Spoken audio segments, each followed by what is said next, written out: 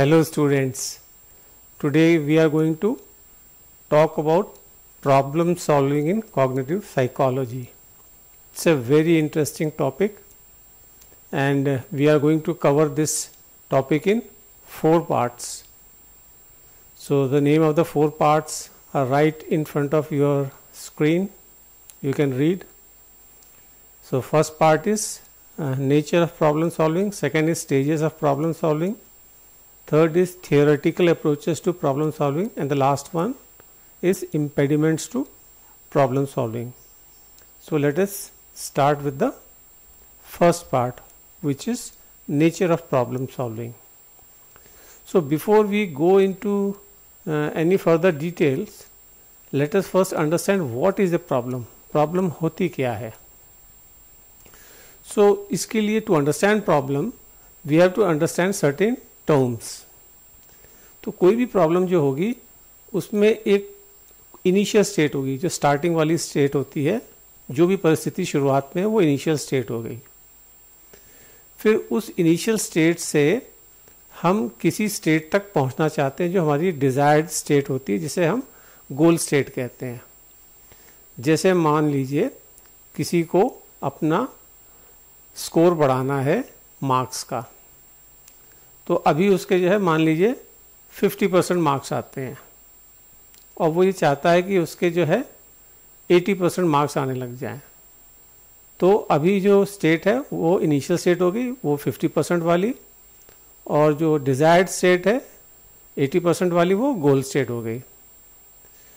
फिर initial state और गोल state के बीच में जो है इंटरमीडिएट स्टेप्स होते हैं मतलब बीच के स्टेप्स अब 50 परसेंट से एकदम से तो 80 परसेंट नहीं आ जाएँगे। 55 होंगे 60 हो गए ऐसे धीरे धीरे बढ़ते बढ़ते फिर वो 80 पे आएँगे। सो ये बीच वाले जो स्टेप्स हुए वो इंटरमीडिएट स्टेप्स हो गए। चौथा वर्ड जो समझने का वो है ऑपरेटर ऑपरेटर मतलब जो व्यक्ति इस प्रॉब्लम को सॉल्व कर रहा है। That person is the operator फिर पांचवा जो चीज़ समझने की वो रूल्स कोई भी प्रॉब्लम सॉल्व करने के कुछ ना कुछ रूल्स होते हैं। रूल्स अलग अलग हो सकते हैं, पॉसिबल है। हर प्रॉब्लम का अलग रूल होगा, लेकिन रूल ज़रूर होंगे। तो आपको जैसे अगर 50 परसेंट से 80 परसेंट जाना है तो आपको रूल्स हैं कि आपको रिटर्न में भी क्वालिफाई करना होंगे, प्रैक्टिकल भी करना होगा, वाइवा में भी जो है मार्क्स लाने होंगे, सेमिनार में भी लाने होंगे, वगैरह अटेंडेंस जो भी जिसके भी मार्क्स हैं हर जगह के मार्क्स डिस्ट्रीब्यूटेड होंगे, उस उस रूल के हिसाब से आपको मार्क्स मिलेंगे। और लास्ट चीज़ है प्रॉब्लम में प्रॉब्लम स्पेस प्रॉब्लम स्पेस कुछ भी नहीं है, जो पहली चार चीज़ें हैं, उनका कॉम्बिनेशन है। जो इनिशियल स्टेट है इंटरमीडिएट स्टेट है गोल स्टेट है ऑपरेटर्स हैं। ये सब मिला के प्रॉब्लम स्पेस कहलाता है। तो जो ऑपरेटर जो है रूल्स को अप्लाई करके इनिशियल स्टेट से गोल स्टेट की तरफ़ जाता है बीच में इंटरमीडिएट स्टेज भी आती है। इसको हम कहेंगे कि ये क्या है? प्रॉब्लम स्पेस नेक्स्ट जो है टाइप्स ऑफ़ प्रॉब्लम हम समझते हैं कि प्रॉब्लम किस किस टाइप्स की होती हैं। बहुत तरह की होती हैं लेकिन हम आ, कुछ इंपॉर्टेंट वंस पढ़ेंगे। सबसे पहली जो है प्रॉब्लम होती है वेल डिफाइंड वेल डिफाइंड का मतलब हो गया हर चीज़ जो है उस प्रॉब्लम में बहुत क्लियरली और अच्छे से डिफाइंड है। कि भाई ये एग्जैक्टली exactly जो है इनिशियल स्टेट है, ये कोल स्टेट है, ये ये इंटरमीडिएट स्टेट हो सकती हैं, ये रूल्स हैं।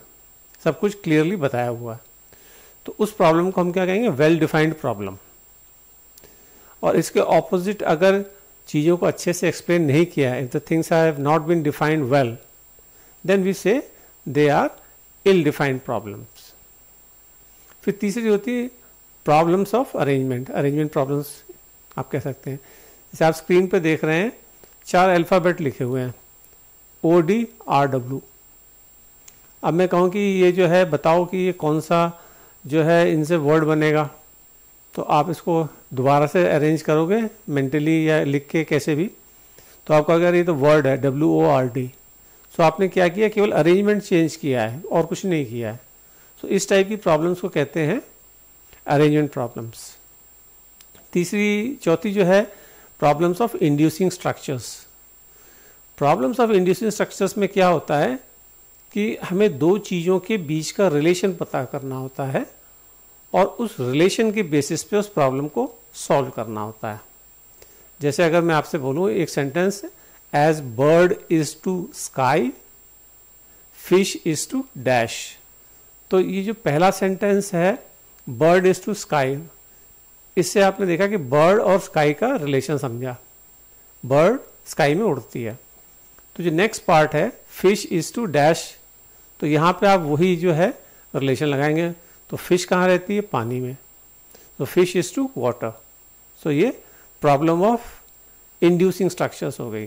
You find out the relation between two things and you solve the problem then the last one is transformation problem transformation problem में क्या होता है कि एक पर्टिकुलर स्ट्रक्चर होता है इनिशियली और उस स्ट्रक्चर को चेंज करके गोल स्टेट में ले जाना होता है। जैसे आप स्क्रीन पे देखेंगे, ये इसे टावर ऑफ़ हनोई कहते हैं। टावर ऑफ़ हनोई इसमें क्या है? तीन जो है स्टिक्स हैं और पहली वाली स्टिक्स में कुछ डिस्क हैं लगी हुई। तो सबसे नीचे सबसे बड़ी डिस्क है, फिर उसके ऊपर उससे छोटी, फिर उससे छोटी smaller smaller and finally the smallest disk is on the top तो अब जो ये डिस्क हैं, इनको फ़र्स्ट से थर्ड वाली स्टिक पे ले जाना है। लेकिन रूल दो हैं एट ए टाइम एक ही डिस्क को मूव करना है। एट ए टाइम दो डिस्क को मूव नहीं कर सकते हैं number one number two never ever the bigger disk will be on top of the smaller disk जो बड़ी डिस्क है, वो छोटी डिस्क के ऊपर नहीं रखी जाएगी। ये दो रूल हैं और ये करके इनको सॉल्व करना है। तो इस टाइप की जो प्रॉब्लम है, जिसमें हम जो है इनिशियल जो स्टेट में हमारा जो स्ट्रक्चर है, उसको ट्रांसफॉर्म करके हम गोल स्टेट में ले जाते हैं। That is called transformation problem और इसका best example tower of Hanoi वाला है।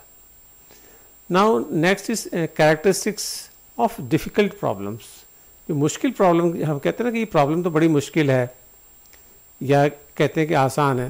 तो मुश्किल और प्रॉब्लम जो आसान होती है, होती कैसे है? ये हमको कैसे जो हम बताते हैं कि ये प्रॉब्लम जो है, आसान है कि मुश्किल है। तो उसके कुछ तरीके होते हैं। तरीके इन द सेंस, कुछ उसकी कैरेक्टरिस्टिक्स होती हैं उस प्रॉब्लम में, जिसकी वजह से जो है, हम कहते हैं। आपने भी जी बहुत बार कहा होगा, अपनी लाइफ में प्रॉब्लम बड़ी मुश्किल है। लेकिन वो हमें मुश्किल क्यों लगती है, आज हम उसको जानते हैं। ज़रूरी नहीं कि ये सारे ही चीज़ें हों उस पर्टिकुलर प्रॉब्लम में जो हमको मुश्किल लग रही है। इसमें से कुछ हो सकती हैं, एक हो सकती है, दो हो सकती हैं, चार, पाँच हो सकती हैं। तो जितनी ज़्यादा ये चीज़ें होंगी, उतनी प्रॉब्लम डिफ़िकल्ट होती चली आएगी। तो सबसे पहली चीज़ है इन ट्रांसपेरेंसी यानी कि lack of clarity of situation परिस्थिति क्या है हमको समझ में नहीं आ रहा है। हमें इनिशियल स्टेट ही समझ में नहीं आ रही है तो हम उसको सॉल्व कैसे करेंगे? दूसरा है कॉन्टिन्यूशन ओपेसिटी इसका मतलब यह हुआ कि केवल स्टार्टिंग में ही कन्फ्यूज़न नहीं है कन्फ्यूज़न जारी रहता है। आगे भी जब प्रॉब्लम को सॉल्व करते हैं तो आगे भी जो है कन्फ्यूज़न जारी रहता है। फिर थर्ड इज़ पॉलिटली पॉलिटली का मतलब हो गया कि केवल एक गोल नहीं है, बहुत सारे गोल्स जो है अचीव करने हैं। तो वो पॉलिटली वाली प्रॉब्लम हो गई उतनी डिफ़िकल्ट होती जाएगी। फोर्थ इज़ इन एक्सप्रेसिवनेस इसमें यह कि प्रॉब्लम को ठीक से एक्सप्रेस नहीं किया गया है। सब कुछ है प्रॉब्लम में क्लियर है लेकिन एक्सप्रेस ढंग से बताया नहीं गया है। फिर फिफ्थ इज़ ऑपोजिशन ऑपोजिशन का मतलब हो गया कि जो हम प्रॉब्लम सॉल्व करना चाहते हैं उसका कुछ आ, कहीं से अपोजिशन हो रहा है कोई बाधा आ रही कोई कुछ रुकावट आ रही है जो उसको सॉल्व नहीं होने दे रही है। सो so, वो भी जो है प्रॉब्लम को डिफ़िकल्ट बनाती है। Then six is transience transience मतलब प्रॉब्लम जो है चेंज होती रहती है। जैसे आपको जो है कभी पानी से डील करना है, कभी वाटर वेपर से डील करना है, कभी आइस से डील करना है। है तो पानी, लेकिन जो है उसका टाइप चेंज होता जा रहा है। तो पानी की प्रॉब्लम है, लेकिन उसका टाइप चेंज होता है। ट्रांजियंस वाली हो गई। फिर जो है कॉम्प्लेक्सिटी किसी भी प्रॉब्लम में जितने ज़्यादा जो है एलिमेंट्स होंगे, उतनी ही ज़्यादा वो डिफ़िकल्ट होगी। अगर आपको सिर्फ़ अपने एक किसी क्लोज फ्रेंड के साथ कहीं घूमने का प्लान बनाना है इजीली बन जाएगा। लेकिन अगर आपको बोला जाए कि आपके स्कूल के जितने भी बच्चे हैं, उन सबको लेके जो है पिकनिक का प्लान बनाओ। So it will be very difficult task because the number of items have increased then is innumerability. Innumerability है कि किसी चीज़ को जब हम क्वांटिफाई नहीं कर पाए, अगर जैसे आपको ये बोला जाए कि भाई नंबर ज़्यादा लेके आओ तो लेकिन ये कोई नहीं बता रहा कि कितने ज़्यादा नंबर लेके आओ। वो भी तो एक आपको कोई बताए ना कि पाँच परसेंट ज़्यादा लाओ, दस परसेंट ज़्यादा लाओ वॉट एवर इट इज़ तो जब हम क्वांटिफाई नहीं करते हैं किसी प्रॉब्लम को तो भी उसको सॉल्व करना मुश्किल होता है। द नेक्स्ट इज़ कनेक्टिविटी इसमें क्या है? जो प्रॉब्लम है वो हायरार्की में होती है। हायरार्की का मतलब एक चीज़ सबसे टॉप पे है, फिर दूसरी उसके नीचे है, फिर तीसरी उसके नीचे है, ऐसे। तो जब तक पहली सॉल्व नहीं होगी, तब तक दूसरी पे नहीं जा सकते। जब दूसरी सॉल्व नहीं हो जाएगी, तीसरी पे नहीं जा सकते। तो ऐसे हायरार्की में भी प्रॉब्लम जब होती है तो सॉल्व करना डिफ़िकल्ट होता है। Then next is heterogeneity heterogeneity मतलब एक टाइप की प्रॉब्लम नहीं है। डिफरेंट डिफरेंट टाइप की प्रॉब्लम्स हैं। आपको बोला जाए कि नंबर भी ज़्यादा ले आओ म्यूज़िक भी अच्छा सा बजा लो गेम्स में भी जो है मेडल ले आओ तो ये हेट्रोजिनिटी की प्रॉब्लम होगी, कोई एक टाइप की नहीं है। नेक्स्ट इज़ डायनामिक्स यानी कि टाइम कंसिडरेशन आपको जो है, ये जो है टाइम के साथ में प्रॉब्लम चेंज होती जा रही है। जैसे छोटा बच्चा होता है, अपने पेरेंट्स से पूछिएगा तो शुरुआत में क्या है कि वो बोल नहीं पाता है। अब कुछ बोल नहीं पाता तो प्रॉब्लम ये नहीं आती है कि पेरेंट को समझ में आता है कि इसको प्रॉब्लम क्या रो क्यों रहा है? बड़ी मुश्किल होती है समझने की फिर जब बोलना शुरू कर देता कहते हैं कि इतना ज़्यादा सवाल पूछता है, हम बड़े परेशान हैं। फिर वो चलता नहीं है तो इसलिए हमको जो है सब इसकी केयर करनी पड़ती है, कहीं भी हर जगह उठा के ले आना पड़ता है। जब चलने लग जाता है, दूसरी प्रॉब्लम है कि ये खुद खुद के लिए डेंजर क्रिएट कर देता है। सो टाइम के साथ में जो है प्रॉब्लम चेंज होती जा रही है। Then next is temporal constant temporal constant का मतलब आपको ये जो है लिमिट दी गई है कि भाई इतने ही टाइम के अंदर इसको सॉल्व करना है। इससे ज़्यादा टाइम नहीं मिलेगा। That is temporal constant then next is temporal sensitivity temporal sensitivity का मतलब हर जो है बीतते हुए टाइम के साथ में प्रॉब्लम के जो है जो सीवियरिटी है वो बढ़ती जा रही है। ऐसा हो सकता है। तो यानी कि आपके पास टाइम की भले ही लिमिट नहीं है, कोई जितने मर्ज़ी टाइम में सॉल्व करो, लेकिन जितना ज़्यादा टाइम लोगे, उतनी प्रॉब्लम बढ़ती जा रही है। तो टेम्पोरल सेंसिटिविटी हो गई। Then phase effect phase effect में कि प्रॉब्लम के फेजेस हैं। कभी, जैसे मौसम की बात ले लो, कभी गर्मी की प्रॉब्लम है, कभी बारिश की प्रॉब्लम है, कभी बर्फ़ गिर रही है, वो प्रॉब्लम है। तो हर फ़ेज़ की अपनी अलग प्रॉब्लम है। फिर देन इज़ डायनामिक अनप्रडिक्टेबिलिटी इसका मतलब यह हुआ, वो टाइम के साथ चेंज तो हो रही है, लेकिन चेंज कैसे होगी ये भी नहीं पता हमारे को। जैसे सीज़न के बारे में हमें तो पता है कि भाई, जो गर्मी आई है तो फिर उसके बाद में बरसात आएगी, और बरसात के बाद में सर्दी आएगी। ये हमको पता है, फेस इफ़ेक्ट लेकिन अगर हमको ये नहीं पता हो कि किस मौसम के बाद में कौन सा मौसम आएगा तो वो हो गया डायनामिक अनप्रडिक्टेबिलिटी हो गया। फिर नेक्स्ट जो है जो कितने तरह की थिंकिंग होती है, जब हम प्रॉब्लम सॉल्विंग करते हैं तो कितने तरह के थिंकिंग प्रोसेस होते हैं। तो सबसे पहला मेन होता है प्रोडक्टिव थिंकिंग प्रोडक्टिव थिंकिंग में क्या है कि आपको रटा रटा ऐसी चीज़ नहीं जो ऑलरेडी आपको पता है, वो जो है आप बता रहे नहीं। आप कोई नई चीज़ प्रोड्यूस कर रहे हो, कोई नई उत्पत्ति कर रहे हो विचारों की। That is why it is called productive thinking और अगर आपको जो पहले से पता है, सिर्फ़ उसी के बेसिस पे सोच के आप कर रहे हो तो that is reproductive thinking third is analytical thinking इसमें क्या होता है कि एक ही करेक्ट आंसर होगा। पॉसिबिलिटी है ही नहीं कि दूसरा करेक्ट आंसर हो, और एक ही करेक्ट आंसर तक पहुँचना, ये आपकी प्रॉब्लम है। उसके लिए जो थिंकिंग चाहिए होती है, वो एनालिटिकल थिंकिंग होती है। जैसे फॉर एग्जांपल कोई आपसे पूछे कि आपके घर में कितने दरवाजे हैं? तो इसका एक ही करेक्ट आंसर हो सकता है। और तरीका क्या है? सिंपल दरवाजों को गिन लो। सो ये एनालिटिकल थिंकिंग हुई। एक ही possible correct answer and how to reach that answer is analytical thinking synthetic thinking में जो है हमको गिवन होता है, जो दिया गया होता है, जो बताया गया होता है, उसके बेसिस पे हम कुछ नतीजे निकाल सकते हैं जो कि हमको नहीं बताए गए हैं। जैसे, अगर आपको, जैसे ये पता है कि two is a divisible, divisor of four, two is a divisor of four. दो से, दो का भाग दिया जा सकता है चार में। Likewise four is a divisor of eight. चार का भाग दिया जा सकता है, आठ में। तो ये आपको बताया गया तो लेकिन ये अंडरस्टूड हो गया कि फिर two is also a divisor of eight दो का भाग आठ में भी दिया जा सकता है। बताया नहीं गया था, लेकिन ये अंडरस्टूड हो जाता है। तो इस तरह जो आप थिंकिंग करते हैं, वो सिंथेटिक थिंकिंग हुई। फिर पांचवी जो है, एक कंप्यूटर सिमुलेशन होता है। इसमें क्या है? कि जैसे इंसान सोचता है human how human beings think that is fed into to computer उस तरीके से जो है कंप्यूटर मॉडल में प्रॉब्लम को सॉल्व किया जाता है, जैसे ह्यूमन बींग सोचते हैं उस तरीके से। यानी कि एक पैरल जो है एस्टैब्लिश किया जाता है। एक समानांतर व्यवस्था स्थापित की जाती है। कैसे जो है ह्यूमन बींग सोचते हैं, उसी तरीके से कंप्यूटर में काम करवाया जाए। तो that is called computer simulation फिर एक चीज़ होती है माइंड्स आई ये सब जो हम जब सोच रहे होते हैं, जो हमारा दिमाग में है, एक हम मॉडल बना रहे होते हैं प्रॉब्लम का तो उसके लिए एक वर्ड यूज़ किया जाता है कहीं कहीं माइंड्स आई या होमनक्यूलस होमनक्यूलस का मतलब है little man in the head आपके सर में एक छोटा सा आदमी बैठा हुआ, वो सब देख रहा है।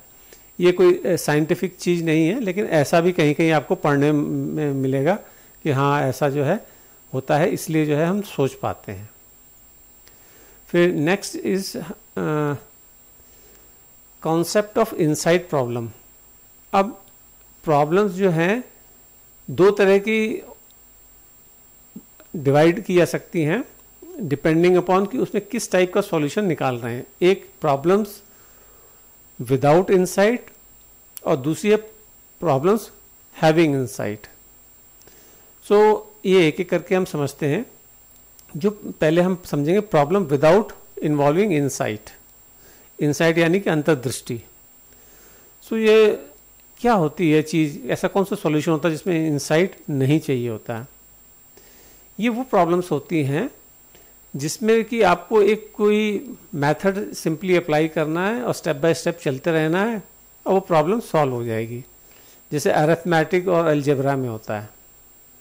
आपको प्रॉब्लम समझ में आ गया, उसमें गिवन क्या है, दिया क्या हुआ समझ में आ गया, निकालना क्या है वो समझ में आ गया, फॉर्मूला क्या है वो पता है आपको, वैल्यूज़ को फॉर्मूले में डाला, कैलकुलेट करते रहे और एंड में सॉल्यूशन आ गया। So these types of problems are called problems not requiring insight या सॉल्यूशंस विदाउट इन्वॉल्विंग इनसाइट तो इसमें जो है जैसे जैसे हम स्टेप बाय स्टेप आगे बढ़ रहे होते हैं तो हमको महसूस हो रहा होता है कि हाँ हम सही डायरेक्शन में जा रहे हैं। और जैसे जैसे हम प्रॉब्लम के क्लोज जाते जाते हैं सॉल्यूशन के क्लोज जाते जाते हैं वैसे वैसे एक अंदर से हमको फीलिंग जाती है कि हाँ हम बस होने वाला है। That is called feeling of warmth तो इसमें जो है मेटाकॉग्निटिव असेसमेंट जो है हमारा एक्यूरेट होता है। मेटाकॉग्निटिव का मतलब होता है, पहली बात ये समझ लीजिए, जहाँ पे भी मेटा वर्ड आ जाए तो मेटा के बाद में जो भी वर्ड है, वो वर्ड ऑफ़ फिर वही वाला वर्ड दोबारा। जैसे मेटा कॉग्निशन का मतलब क्या cognition of cognition Meta physics है तो physics of physics meta analysis का हो गया मतलब एनालिसिस ऑफ़ एनालिसिस तो हम कैसे सोच रहे हैं, हम उसके बारे में सोच रहे होते हैं। और वो जब हमारा एक्यूरेट होता है कि हमारे सोचने का तरीका एक्यूरेट होता है, हम करेक्ट तरीके से सोच रहे होते हैं तो वो सॉल्यूशन आ जाता है। This is solution without involving insight now we come to insightful solutions insightful solutions में जो है, ऐसा स्टेप बाय स्टेप प्रोसीजर नहीं होता है। उसमें जो है सॉल्यूशन अचानक ही एकदम से आपके दिमाग में आ जाता है, बिना किसी वार्निंग के। आपको पता नहीं होता कि सॉल्यूशन आने वाला है, या इतनी देर में आ जाएगा, या ये कर लेंगे तो आ जाएगा। बस अचानक से एकदम से जैसे बत्ती जलती है ना, वो आता है। इसमें वो वाली फीलिंग ऑफ़ वार्मथ नहीं आती है, जो सॉल्यूशन विदाउट इन्वॉल्विंग इनसाइट में आती है कि हाँ हम सॉल्यूशन के नज़दीक जा रहे हैं। That feeling doesn't come in insightful solutions और इसमें जो है मेटाकॉग्निशन एक्यूरेट नहीं होता है। हमको एग्जैक्टली exactly पता नहीं होता है कि कैसे सोचना चाहिए, बस आ जाता है वो दिमाग में idea so those are insightful solutions आगे अभी हम जब क्रिएटिविटी पढ़ेंगे तो उसमें और डीप में जाएँगे इनसाइटफुल सॉल्यूशंस में। ये प्रॉब्लम सॉल्विंग में ये एक बहुत इंपॉर्टेंट चीज़ होती है। फिर एक चीज़ होती है सैगासिटी इसको आपको समझना चाहिए। जब किसी भी प्रॉब्लम के बारे में आपको इन्फॉर्मेशन दी जाती है तो उसमें बहुत सारी इन्फॉर्मेशन ऐसी होंगी जो इरेलीवेंट होगी, वांछित नहीं होंगी, अवांछित होंगी। और कुछ चीज़ें ऐसी होंगी जो रेलेवेंट टू द प्रॉब्लम होगी, वो समस्या से रिलेटेड होंगी। तो ये जानना कि जो इन्फॉर्मेशन आपको दी गई है, उसमें से कौन सी रेलेवेंट है रिलेटेड टू प्रॉब्लम और कौन सी इरेलीवेंट है, उस पर फोकस नहीं करना है। ये जो कैपेसिटी है दिस इज़ कॉल्ड सैगासिटी अगर जैसे कि आपको बोला जाए कि भाई इस प्रॉब्लम का सॉल्यूशन बताओ कि एक जो पत्थर था, वो लेक की सरफेस के ऊपर तीन महीने तक टिका रहा और तीन महीने बाद वो डूब गया। ऐसा कैसे हुआ? अब इसमें जो है, अगर आपको सॉल्यूशन पता है तो अच्छी बात है, नहीं तो सॉल्यूशन ये है कि जो लेक वर्ड है लेक वर्ड के दोनों मीनिंग हो सकते हैं कि लेक फ्रोजन है तो भी लेक है, लेक अनफ्रोजन है तो भी लेक है। यानी कि जो झील का पानी अगर जमा हुआ है तो भी हम उसको झील कहेंगे। और झील का पानी नहीं जमा है तो भी हम उसको झील कहेंगे। तो जब पत्थर रखा गया था, तब वो फ्रोजन लेक थी, जमी हुई थी। और तीन महीने बाद वो जब पिघल गई होगी बर्फ़ तो पत्थर अंदर गिर गया। तो इसमें सैगासिटी क्या है कि हमको रेलेवेंट वर्ड क्या है? लेक उस पर अगर फोकस करेंगे, और लेक फ्रोजन भी हो सकती है अनफ्रोजन भी हो सकती है, ये रेलेवेंट बात है। बाकी सब इरेलीवेंट है उसमें। जो वो चाहे तीन महीने हो, या एक दिन हो, या एक साल, उससे कोई फ़र्क नहीं। फ्रोजन और अनफ्रोजन से ही सारा सॉल्यूशन है, और लेक वर्ड के मीनिंग से है। So this kind of ability to focus on what is essential about the situation is called sagacity. Now, next is unit 2, which is stages of problem solving. तो सबसे पहली बात हमको समझना होगा कि सॉल्यूशन निकलता कैसे है? How do we generate the solution of any problem तो सबसे पहली चीज़ जो है जितने भी पॉसिबल सॉल्यूशंस हैं प्रॉब्लम के वो जो है हम फाइंड आउट करते हैं। कैसे भी तरीके हो सकते हैं वो आगे हम देखेंगे। लेकिन जितने भी पॉसिबल सॉल्यूशंस हैं, वो हम फाइंड आउट करते हैं। ऐसे भी कर सकते हैं, वैसे भी कर सकते हैं। अगर आपको घर से स्कूल जाना है, पैदल भी आ सकते हैं साइकिल से भी जा सकते हैं मोटरसाइकिल से भी जा सकते हैं कार से भी जा सकते हैं, किसी से लिफ्ट भी ले सकते हैं, ये सब पॉसिबल सॉल्यूशंस हो गए। The next is judging the best among the likely solution अब उसमें से बेस्ट आपको कौन सा लगता है? आपको लगता है मौसम अच्छा है, थोड़ी एक्सरसाइज भी हो जाएगी, पैदल चलते हैं। लौटते में तो मेरा फ्रेंड आता ही, उसके साथ में मैं आ जाऊँगा। या, आप कहोगे नहीं नहीं मौसम ठीक नहीं है कार में जाना ठीक है और कार से ही आएँगे। तो डिपेंड करता है आपको उस उस सिचुएशन में कौन सा बेस्ट सॉल्यूशन लग रहा है। फिर third step is carrying out the best solution जो भी आपको बेस्ट लग रहा है फिर then you implement that solution उसको लागू करो। And then you evaluation of solution जो आपने सॉल्यूशन लगाया वो आपके लिए ठीक है। या नहीं है, जब लागू किया तो पता लग गया कि हाँ ये ठीक था या नहीं था। Then next is strategies of problem solving तो दो मेन जो है, बहुत सारी होती हैं, लेकिन दो सबसे मेन जो है स्ट्रेटजीज होती हैं, या तो एल्ग्रिदम होती है, या फिर ह्यूरिस्टिक होती है। इन दोनों को एक एक करके समझते हैं। सबसे पहले लेते हैं एल्गोरिदम एल्गोरिदम में क्या होता है कि नंबर एक सॉल्यूशन गारंटीड होता है। एल्गोरिदम की टेक्निक से if you solve the problem then the solution is guaranteed दूसरी चीज़ क्या होती है एल्गोरिदम में? There are precise steps exact होता है कि ये ऐसे करना है। कोई इसमें डाउट नहीं होता एक परसेंट भी। तीसरी चीज़ होती है डेफिनेट नंबर ऑफ़ स्टेप्स होते हैं। यानी कि ये नहीं कि इनफाइनाइट करते रहेंगे। एक सर्टेन नंबर ऑफ़ स्टेप्स होंगे, वो एक भी हो सकता है, दो भी हो सकते हैं, तीन कितने भी हो सकते हैं। लेकिन उतने स्टेप्स के बाद में सॉल्यूशन आ जाएगा। चौथी चीज़ जो है एल्गोरिदम में टाइम तो लगता है। सॉल्यूशन गारंटीड है, पर टाइम लगता है। एंड नेक्स्ट चीज़ जो है, बड़ी इंपॉर्टेंट एल्गोरिदम की है, वो सिमिलर सिचुएशंस के लिए हमेशा वर्क करेगी। आप सोच रहे हो एल्गोरिदम तो बहुत कोई मुश्किल सी चीज़ होती होगी, इतनी डिफ़िकल्टी से हमको बताया गया है। ऐसा नहीं आपने अपनी ज़िंदगी में जाने कितनी एल्गोरिदम यूज़ करी है आज आपको समझ भी आ जाएगा कि आपने कहाँ कहाँ यूज़ किया। जैसे टेबल होता है पहाड़ा जिसे कहते हैं हिंदी में। सो so, अगर मैं जो है कहूँ टू का टेबल तो आप जो टू का टेबल बता दोगे इसलिए। टू वन ज़ार टू टू टू ज़ार फोर टू थ्री ज़ार सिक्स टू फोर ज़ार एट टू फाइव ज़ार टेन टू सिक्स ज़ार ट्वेल्व ऐसे करके आप लास्ट तक टू टेन ज़ार ट्वेंटी तक पहुँच जाओगे। तो आप ये जो पहुँचे कैसे हो, ये आप एल्गोरिदम के ज़रिए पहुँचे हो सॉल्यूशन एल्गोरिदम क्या है कि you keep on adding two two two आप दो में दो जोड़ते रहो जोड़ते रहो जोड़ते रहो।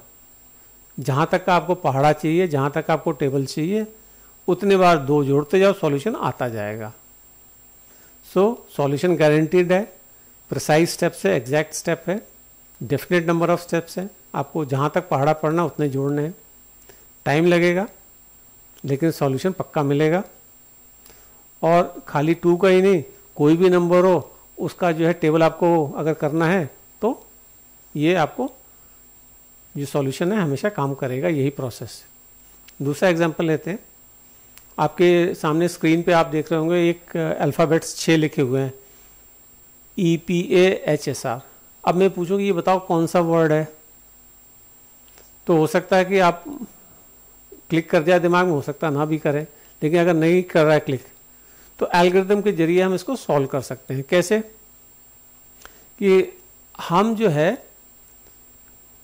पहले पोजीशन पे छह में से कोई सा भी एक वर्ड ले सकते हैं। फिर नेक्स्ट पोजीशन पे बचे कितने? पाँच। तो पाँच में से कोई एक हो सकता है। फिर थर्ड में जो है चार, फिर फोर्थ में तीन, फिर फिफ्थ में दो और लास्ट सिक्स में एक ही बचेगा। तो ऐसे कितने पॉसिबल सॉल्यूशंस हो गए? Six into five thirty into four one twenty into three three sixty into two seven twenty into one seven twenty तो कितने पॉसिबल कॉम्बिनेशंस होंगे इन अल्फ़ाबेट्स के? सेवन हंड्रेड एंड ट्वेंटी इस तरह के कॉम्बिनेशंस लेकिन सॉल्यूशन गारंटेड मिलेगा। हो सकता है वो आपको पहली बार में मिल जाए, हो सकता है दूसरी बार मिले, हो सकता है लास्ट मिले सेवन हंड्रेड ट्वेंटी टाइम ऐसे अरेंजमेंट करें, लेकिन मिलेगा ज़रूर। ऐसा इम्पॉसिबल है कि सॉल्यूशन ना मिले। और आप किसी भी वर्ड को जंबल अप करेंगे, हर बार सॉल्यूशन आपको मिलेगा। ये प्रोसेस अपना के so this is algorithm next is heuristic heuristic को इंग्लिश में रूल ऑफ़ थम भी कहते हैं। रूल ऑफ़ थम मतलब कि बस आपको दिमाग नहीं लगाना है, एक सेट प्रोसीजर है, वो आपने अप्लाई कर देना है। लेकिन इसमें क्या है? एल्गोरिदम में जैसे सॉल्यूशन गारंटीड था ह्यूरिस्टिक में सॉल्यूशन गारंटीड नहीं है। तो आप सोच रहे होगे कि फिर तो एल्गोरिदम ज़्यादा अच्छी है ह्यूरिस्टिक ख़राब है। एल्गोरिदम में क्योंकि गारंटीड सॉल्यूशन है, इसमें तो गारंटीड सॉल्यूशन नहीं है, ऐसी बात नहीं है। हमारी लाइफ में हमेशा हमारे पास में इतना टाइम नहीं होता है कि हम एल्गोरिदम लगा के और जो है सॉल्यूशन निकालें। कभी कभी हमको शॉर्टकट चाहिए होता है। वो शॉर्टकट जो है, हमको कौन देता है? ह्यूरिस्टिक्स देती है। टाइम कम लगेगा ऑब्वियसली शॉर्टकट है इसलिए तो। लेकिन हाँ एक बात गारंटेड है कि उसमें जो है, हमेशा सॉल्यूशन मिलेगा, ये ज़रूरी नहीं है, जो कि एल्गोरिदम में होता है। जैसे सामने एक सेवन अल्फ़ाबेट्स हैं E L F E G I N अब इसको एल्गोरिदम की तरह से अगर हम सॉल्व करेंगे तो आप देख लीजिए 720 से भी ज़्यादा जो है पॉसिबिलिटीज़ हो जाएँगी। क्योंकि जब सिक्स ही अल्फ़ाबेट्स थे तो सेवन हंड्रेड ट्वेंटी पॉसिबिलिटीज़ थी। यहाँ पे तो सेवन है तो और ज़्यादा हो जाएँगी थाउजेंड्स में हो जाएँगी। तो अगर आप एल्गोरिदम से करने बैठेंगे तो, तो बहुत ज़्यादा टाइम लगेगा। तो इसमें जैसे आपने ह्यूरिस्टिक लगा के देखा, आपने देखा कि इसमें जो है, ये जो तीन अल्फ़ाबेट्स हैं जी आई एन ये आई एन जी बन जाते हैं। तो वर्ड्स ऐसे होते हैं बहुत सारे जिसमें लास्ट में आई एन जी होता है। तो हम ये मान के अगर इसमें चलें कि आई एन जी है तो अब हमारे पास में कितने चार ही तो वर्ड अल्फ़ाबेट बचे ई एल एफ़ ई तो ये बड़ी इजीली हमको पता चल गया कि ये फील है, और आई एन जी तो हमको पता ही है। तो ये फीलिंग वर्ड हो गया। तो ये ह्यूरिस्टिक हो गया। लेकिन ये हमेशा काम करे गारंटी नहीं है कि हर वर्ड में जो है ऐसा आई मिल जाए आपको या कुछ ऐसा सिमिलर सा मिल जाए और वो आप लगा के कर लें ये कोई गारंटी नहीं है। सो so, ये ह्यूरिस्टिक हो गई। देन कुछ स्पेसिफिक टेक्निक्स होती हैं प्रॉब्लम सॉल्विंग की। एक होती है जनरेट एंड टेस्ट जैसे हमने पढ़ा था प्रॉब्लम सॉल्विंग में कि आप जितने भी पॉसिबल सॉल्यूशंस हैं उनको पहले आप जनरेट करते हैं फिर उसमें से सेलेक्ट करते हैं।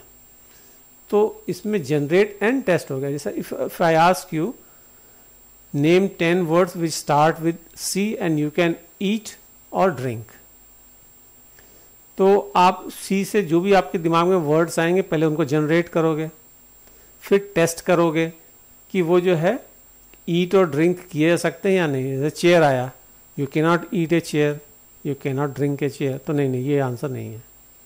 फिर जैसे आया कैरेट कि हाँ कैरेट तो सी से है ईट कर सकते हैं. Yes it is we can eat the carrot so yes it is a solution likewise next is means end analysis means end analysis में क्या है? कि जो हमारा इनिशियल स्टेट है और जो गोल स्टेट है, उसका डिफरेंस हम रिड्यूस करते जा रहे हैं. आपको मान लीजिए दिल्ली से मुंबई जाना है. तो आप एरोप्लेन से भी जा सकते हैं. आप ट्रेन से भी जा सकते हैं, आप बस से भी जा सकते हैं, आप अपनी कार से भी जा सकते हैं। लेकिन मान लीजिए कि जो है, एयरक्राफ्ट नहीं जा रहे हैं तो ट्रेन से चले जाएँगे। लेकिन ट्रेन भी जो है, लास्ट तक नहीं जा रही तो ठीक है, जहाँ तक जा रही है, वहाँ तक चले जाते हैं। उसके आगे जो है, जहाँ तक टैक्सी जा रही है, टैक्सी से चले जाएँगे। उसके आगे जो है, किसी से मोटरसाइकिल से लिफ्ट ले लेंगे। तो आप डिस्टेंस कम करते जा रहे हैं दिल्ली और मुंबई के बीच का। जो भी जो है डिस्टेंस कम कर रही है चीज़, वो आपको गोल की तरफ़ ले जा रही है। So this is called means end analysis you keep on reducing the difference between initial state and goal state by whatever possible means the next is backward search so backward search method तब apply करते हैं जो हमारी goal state बड़ी uniquely specified होती है। Goal state ऐसी होती है कि और कोई पॉसिबिलिटी है ही नहीं। जैसे मेज़ जो होती है, भूल भलैया जिसे कहते हैं हिंदी में, आपने न्यूज़पेपर में अक्सर देखा होगा कि मेज़ के जो है वो आते हैं पजल्स सॉल्व दिस मेज़ उसमें जो है आपको रास्ता ढूंढना है। तो अगर आप बाहर से स्टार्ट करेंगे तो बहुत सारे रास्ते होते हैं तो एक एक करके जो है अगर ट्राई करेंगे तो टाइम ज़्यादा लगेगा।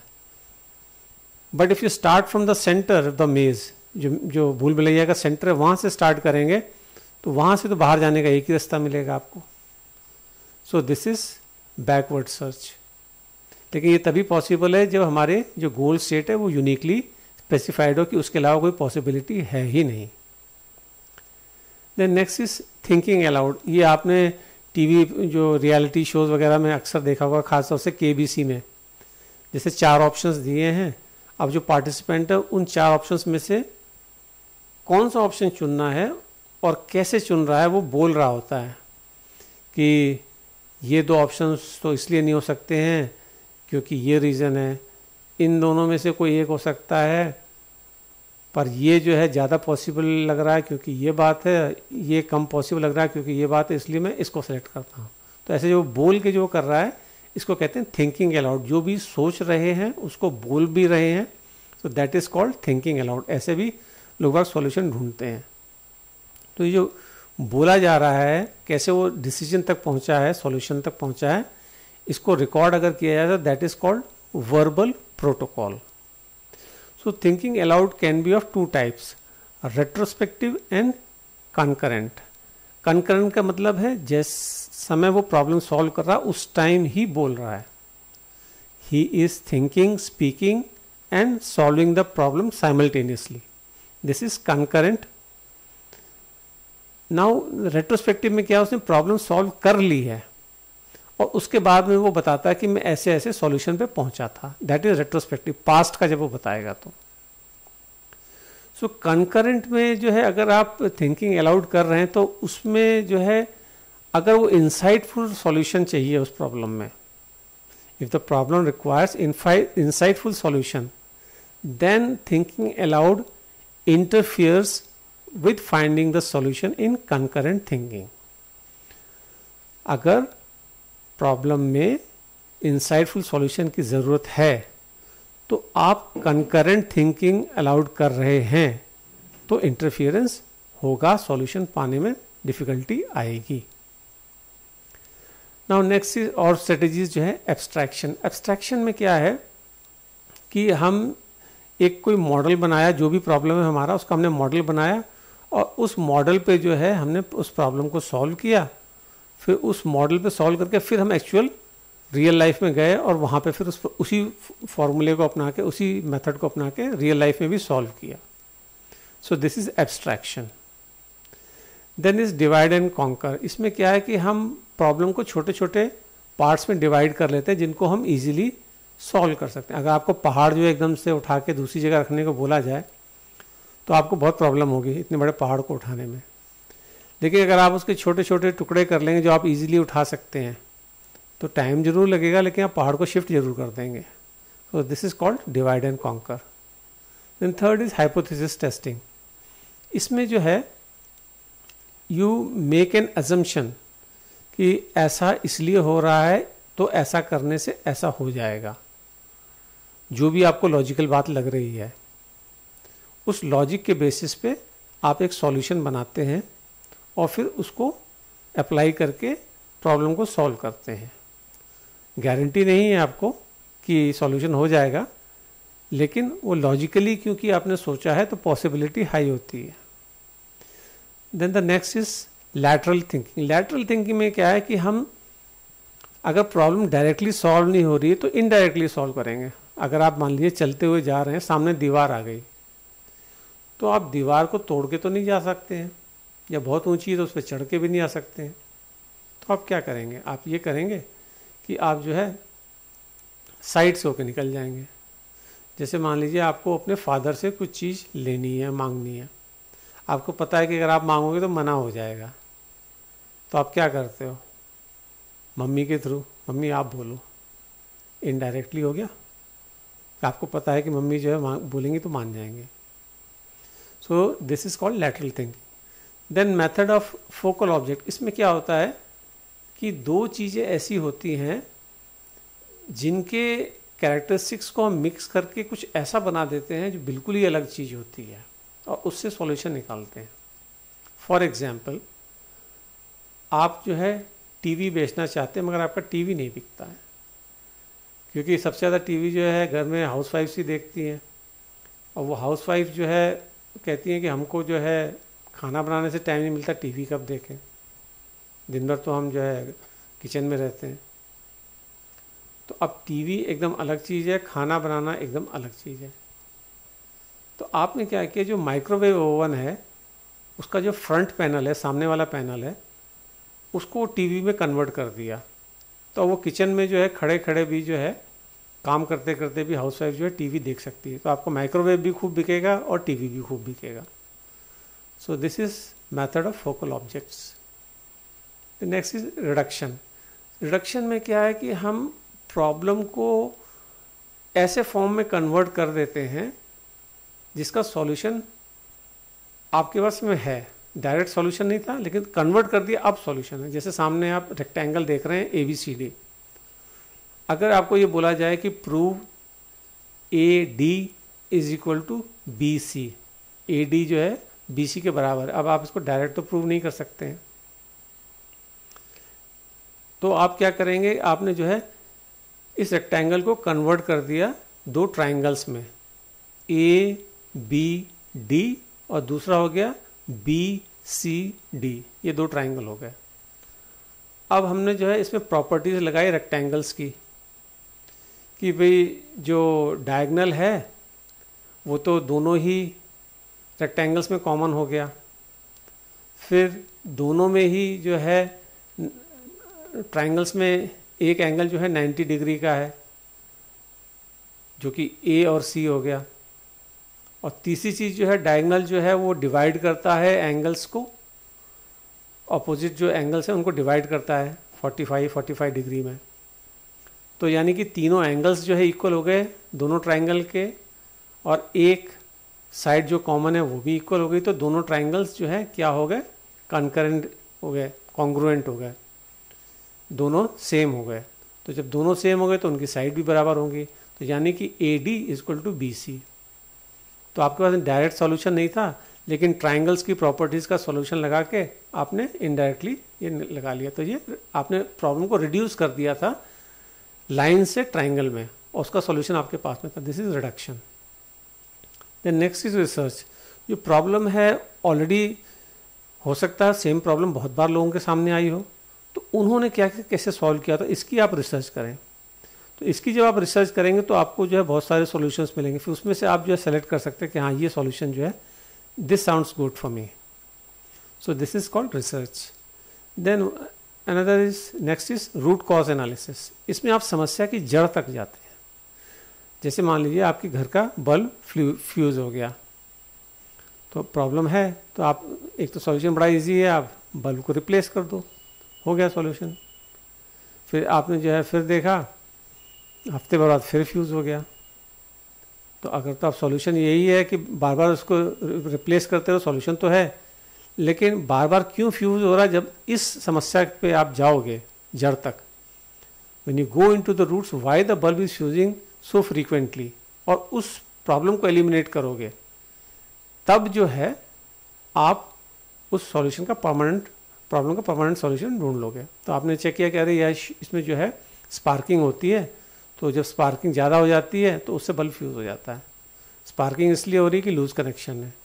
तो कनेक्शन को आपने टाइट कर दिया तो फिर अब बल्ब में फ्यूज़ होना बंद हो गया। So this is root cause analysis next is trial and error trial and error जैसे बच्चे अक्सर करते हैं, कोई चीज़ जो है करना होता तो उसमें गलतियाँ करते हैं, गलती करते करते उनको समझ में आता अच्छा ऐसे नहीं होगा, फिर ऐसे करेंगे, ऐसे नहीं होगा, वैसे करेंगे। They keep on trying till they reach a solution this is called trial and error and then the last one is brainstorming brainstorming में क्या है कि लोग जो है, कितने भी लोग हो सकते हैं, दो, तीन, चार, पाँच कितने भी लोग हो सकते हैं, वो बैठ के जो है, जितने भी पॉसिबल सॉल्यूशंस हैं, वो नोट डाउन करते हैं। जब वो नोट डाउन कर रहे होते हैं, उस टाइम जो है क्रिटिकल नहीं होते हैं। मतलब उस टाइम वो ये नहीं देख रहे होते हैं कि ये पॉसिबल सॉल्यूशन है या नहीं है। जो भी दिमाग में आ रहा, वो जो है कह रहे हैं। और उसमें से जो है कोई सॉल्यूशन निकल के आ जाता, है, ये हो सकता है। तो this is called brainstorming now next is creativity and problem solving creativity को हिंदी में हम कह सकते हैं रचनात्मकता या कहीं कहीं पे आपको सृजनात्मकता भी मिल जाएगा। तो क्रिएटिविटी और प्रॉब्लम सॉल्विंग में जो है क्या संबंध है क्या होती है क्रिएटिविटी ये समझने की कोशिश करते हैं। सो so, सबसे पहली चीज़ बात तो ये है कि जो जो अभी हमने डिस्कस किया था थोड़ी देर पहले insightful problems problems are requiring insightful solutions तो अभी इंसाइट कैसे आती है, इसका कोई एग्जैक्ट प्रोसेस किसी को नहीं पता है। हाँ लेकिन ये जो है, देखा गया है कि जो इंसाइटफुल सॉल्यूशंस होते हैं, उसमें क्रिएटिविटी का एक बहुत बड़ा रोल होता है। तो अब ये जो इंसाइटफुल जो सॉल्यूशंस होते हैं, इसमें जो है तीन तरह के जो है डिफरेंट प्रॉब्लम सॉल्विंग स्किल्स होते हैं। सबसे पहला होता है सेलेक्टिव एनकोडिंग सेलेक्टिव एनकोडिंग में क्या होता है कि हमको जो है ये जो समझ में आना चाहिए कि भाई क्या चीज़ जो है आगे के एनालिसिस के लिए रेलेवेंट है और क्या नहीं है। जैसे कि जो पेनिसिलिन का आपने नाम सुना होगा इंजेक्शन हो सकता है, आपने लगवाया भी हो। जो पेनिसिलिन के जो आविष्कारक थे सर अलेक्जेंडर फ्लेमिंग। वो जब रिसर्च कर रहे थे पेनिसिलिन के ऊपर तो जो एक they something called petri dish petri dish होती है। पीटी डिशेस कांच की छोटी सी प्लेट होती है, जो लैब वगैरह में आपने देखी होगी। तो उस पीटी डिश में जो ही वॉज़ ग्रोइंग बैक्टीरिया तो पीटरी डिश में वो बैक्टीरिया को पैदा कर रहे थे। तो उन्होंने ये देखा कि कुछ पीटरी डिश जो थी उसमें बैक्टीरिया मर गया था कि उसमें कुछ मोल्ड जैसा जो है जम गया था। तो अब अगर कोई नॉर्मल आदमी होता तो वो जो है देखता कि अच्छा बैक्टीरिया मर गया तो, तो पीटरी डिश जो है बेकार हो गई तो हटाओ दूसरा फिर से बैक्टीरिया जमाएँगे और फिर जो है एक्सपेरिमेंट करेंगे। बट ही थॉट कि जो चीज़ बैक्टीरिया को मार रही है हम ये पता करें ना क्या है हमको बैक्टीरिया ही तो मारना है। तो उन्होंने उस बैक्टीरिया मोल्ड पर रिसर्च करके पेनिसिलिन का आविष्कार किया। So he invented penicillin that's how because he focused on the relevant information relevant to the problem this is selective encoding फिर दूसरा होता है सेलेक्टिव कॉम्बिनेशन अब कई बार जो है हमको कुछ नई चीज़ नहीं ढूंढनी होती, जैसे इन्होंने पेंसिलिन नई चीज़ जो है आविष्कार किया था। ऐसी नई चीज़ ढूँढने की ज़रूरत नहीं होती है। कई बार जो चीज़ें हैं, बस उन्हीं चीज़ों को खाली बस अरेंज ऐसे करना होता है और आपको सॉल्यूशन मिल जाता है। जैसे चार्ल्स डार्विन थे, उनकी जो थ्योरी ऑफ़ एवोल्यूशन है, उसके लिए उन्होंने कोई अलग से चीज़ नहीं ढूंढी थी। जो ऑलरेडी चीज़ें डिस्कवर्ड थी, जो अवेलेबल इन्फॉर्मेशन थी, बस उसको अरेंज किया और उन्होंने थ्योरी ऑफ़ एवोल्यूशन बनाई। सो ये हो गया सेलेक्टिव कॉम्बिनेशन कॉम्बिनेशन से जो है एक कैसा होना चाहिए, ये जो है इंसाइटफुल सॉल्यूशन बड़ा इंपॉर्टेंट होता है। और तीसरी चीज़ होती है सेलेक्टिव कंपैरिजन आप, जैसे हमने बोला था कि दो प्रॉब्लम है, उनको आपस में कंपेयर करते हैं, फिर उसमें जो आपस में रिलेशन देखते हैं, और फिर एक सॉल्व प्रॉब्लम से जो अनसॉल्व प्रॉब्लम को सॉल्व करते हैं। तो लेकिन कंपैरिजन भी बड़ा सिलेक्टिव होता है कि आपको क्या चीज़ कंपेयर करनी है, क्या नहीं करनी है। जैसे जो केकुले थे, जिन्होंने बेंजीन का जो है स्ट्रक्चर बनाया था बेंजीन का जो है फॉर्मूला जो होता है सी सिक्स एच सिक्स होता है। कार्बन के लिए C word C alphabet use होता है और हाइड्रोजन के लिए एच तो सी सिक्स का मतलब कार्बन के सिक्स आइटम्स और एच सिक्स का मतलब हो गया हाइड्रोजन के सिक्स आइटम्स तो ये तो पता था कि जो बेंजीन का formula C six H six है। और ये भी पता था कि कार्बन की वैलेंसी फोर है। अगर आप सामने स्क्रीन में देखेंगे तो सी जहाँ पे भी लिखा हुआ है, उससे चार बार्स निकल रहे हैं। चाहे वो सिंगल है डबल है, इससे मतलब नहीं है। लेकिन टोटल किसी भी सी में देखेंगे तो चार बार्स निकल रहे हैं। क्योंकि कार्बन की वैलेंसी फोर होती है और हाइड्रोजन की जो है वैलेंसी वन होती है। हाइड्रोजन में आप जब भी देख रहे होंगे तो एक ही बार होगा। तो ये तो उनको पता था कि सी के जो है चार कनेक्शंस होने चाहिए एच का वन होना चाहिए, लेकिन वो कैसे होगा ये समझ में नहीं आ रहा था। सो उन्होंने जो है सपने में जो है ये देखा कि एक सांप जो है, वो अपनी ही पूंछ को काट रहा है। A snake is biting its own tail तो वो जो सपना देखा था उसका कंपैरिजन अपने स्ट्रक्चर से किया बेंजीन के। तो उन्होंने अभी तक जो है ये गोल सर्कल नहीं बनाया था सी का। हॉरिजेंटल जो है या वर्टिकल बना के ट्राई किया था तो उससे सॉल्यूशन नहीं मिल रहा था। जब तक ये सर्कुलर पैटर्न में नहीं आएगा, ये जो है स्ट्रक्चर बन ही नहीं सकता है। So this is called selective comparison so ये तीन चीज़ें जो हैं बड़ी इंपॉर्टेंट होती है इंसाइटफुल सॉल्यूशन में। Selective encoding selective combination and selective comparison तो अब हम आते हैं कि क्रिएटिविटी जो है इसकी कौन कौन सी स्टेजेस होती हैं? तो इसकी चार स्टेजेस होती हैं। सबसे पहली होती है प्रिपरेशन प्रिपरेशन जिसे आप हिंदी में कह सकते हैं तैयारी। सो so, जो प्रिपरेशन स्टेज होती है इसमें क्या कर रहे होते हैं हम?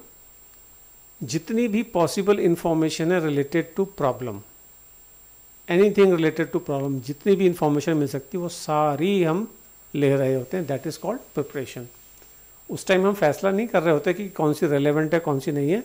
जो भी इंफॉर्मेशन आ रही, लेते जाएँगे हम. वो कौन सी, कहाँ, कब अप्लाई करनी, वो बात की बात है. So in preparation stage you are trying to know about the problem as much as possible the next stage is incubation it comes after preparation जब आपने सारे इंफॉर्मेशन ले ली तो अब सारी इंफॉर्मेशन आपके पास में है हेड में, दिमाग में। अब उसमें आपस में कनेक्शंस हो रहे हैं।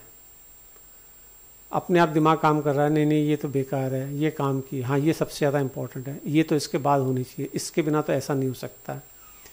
When all this is happening this is called incubation stage और फिर अचानक ही एक ऐसा मूवमेंट आता है जो जो सारे राइट कनेक्शंस इंफॉर्मेशन के जुड़ते हैं और आपको सॉल्यूशन मिल जाता है।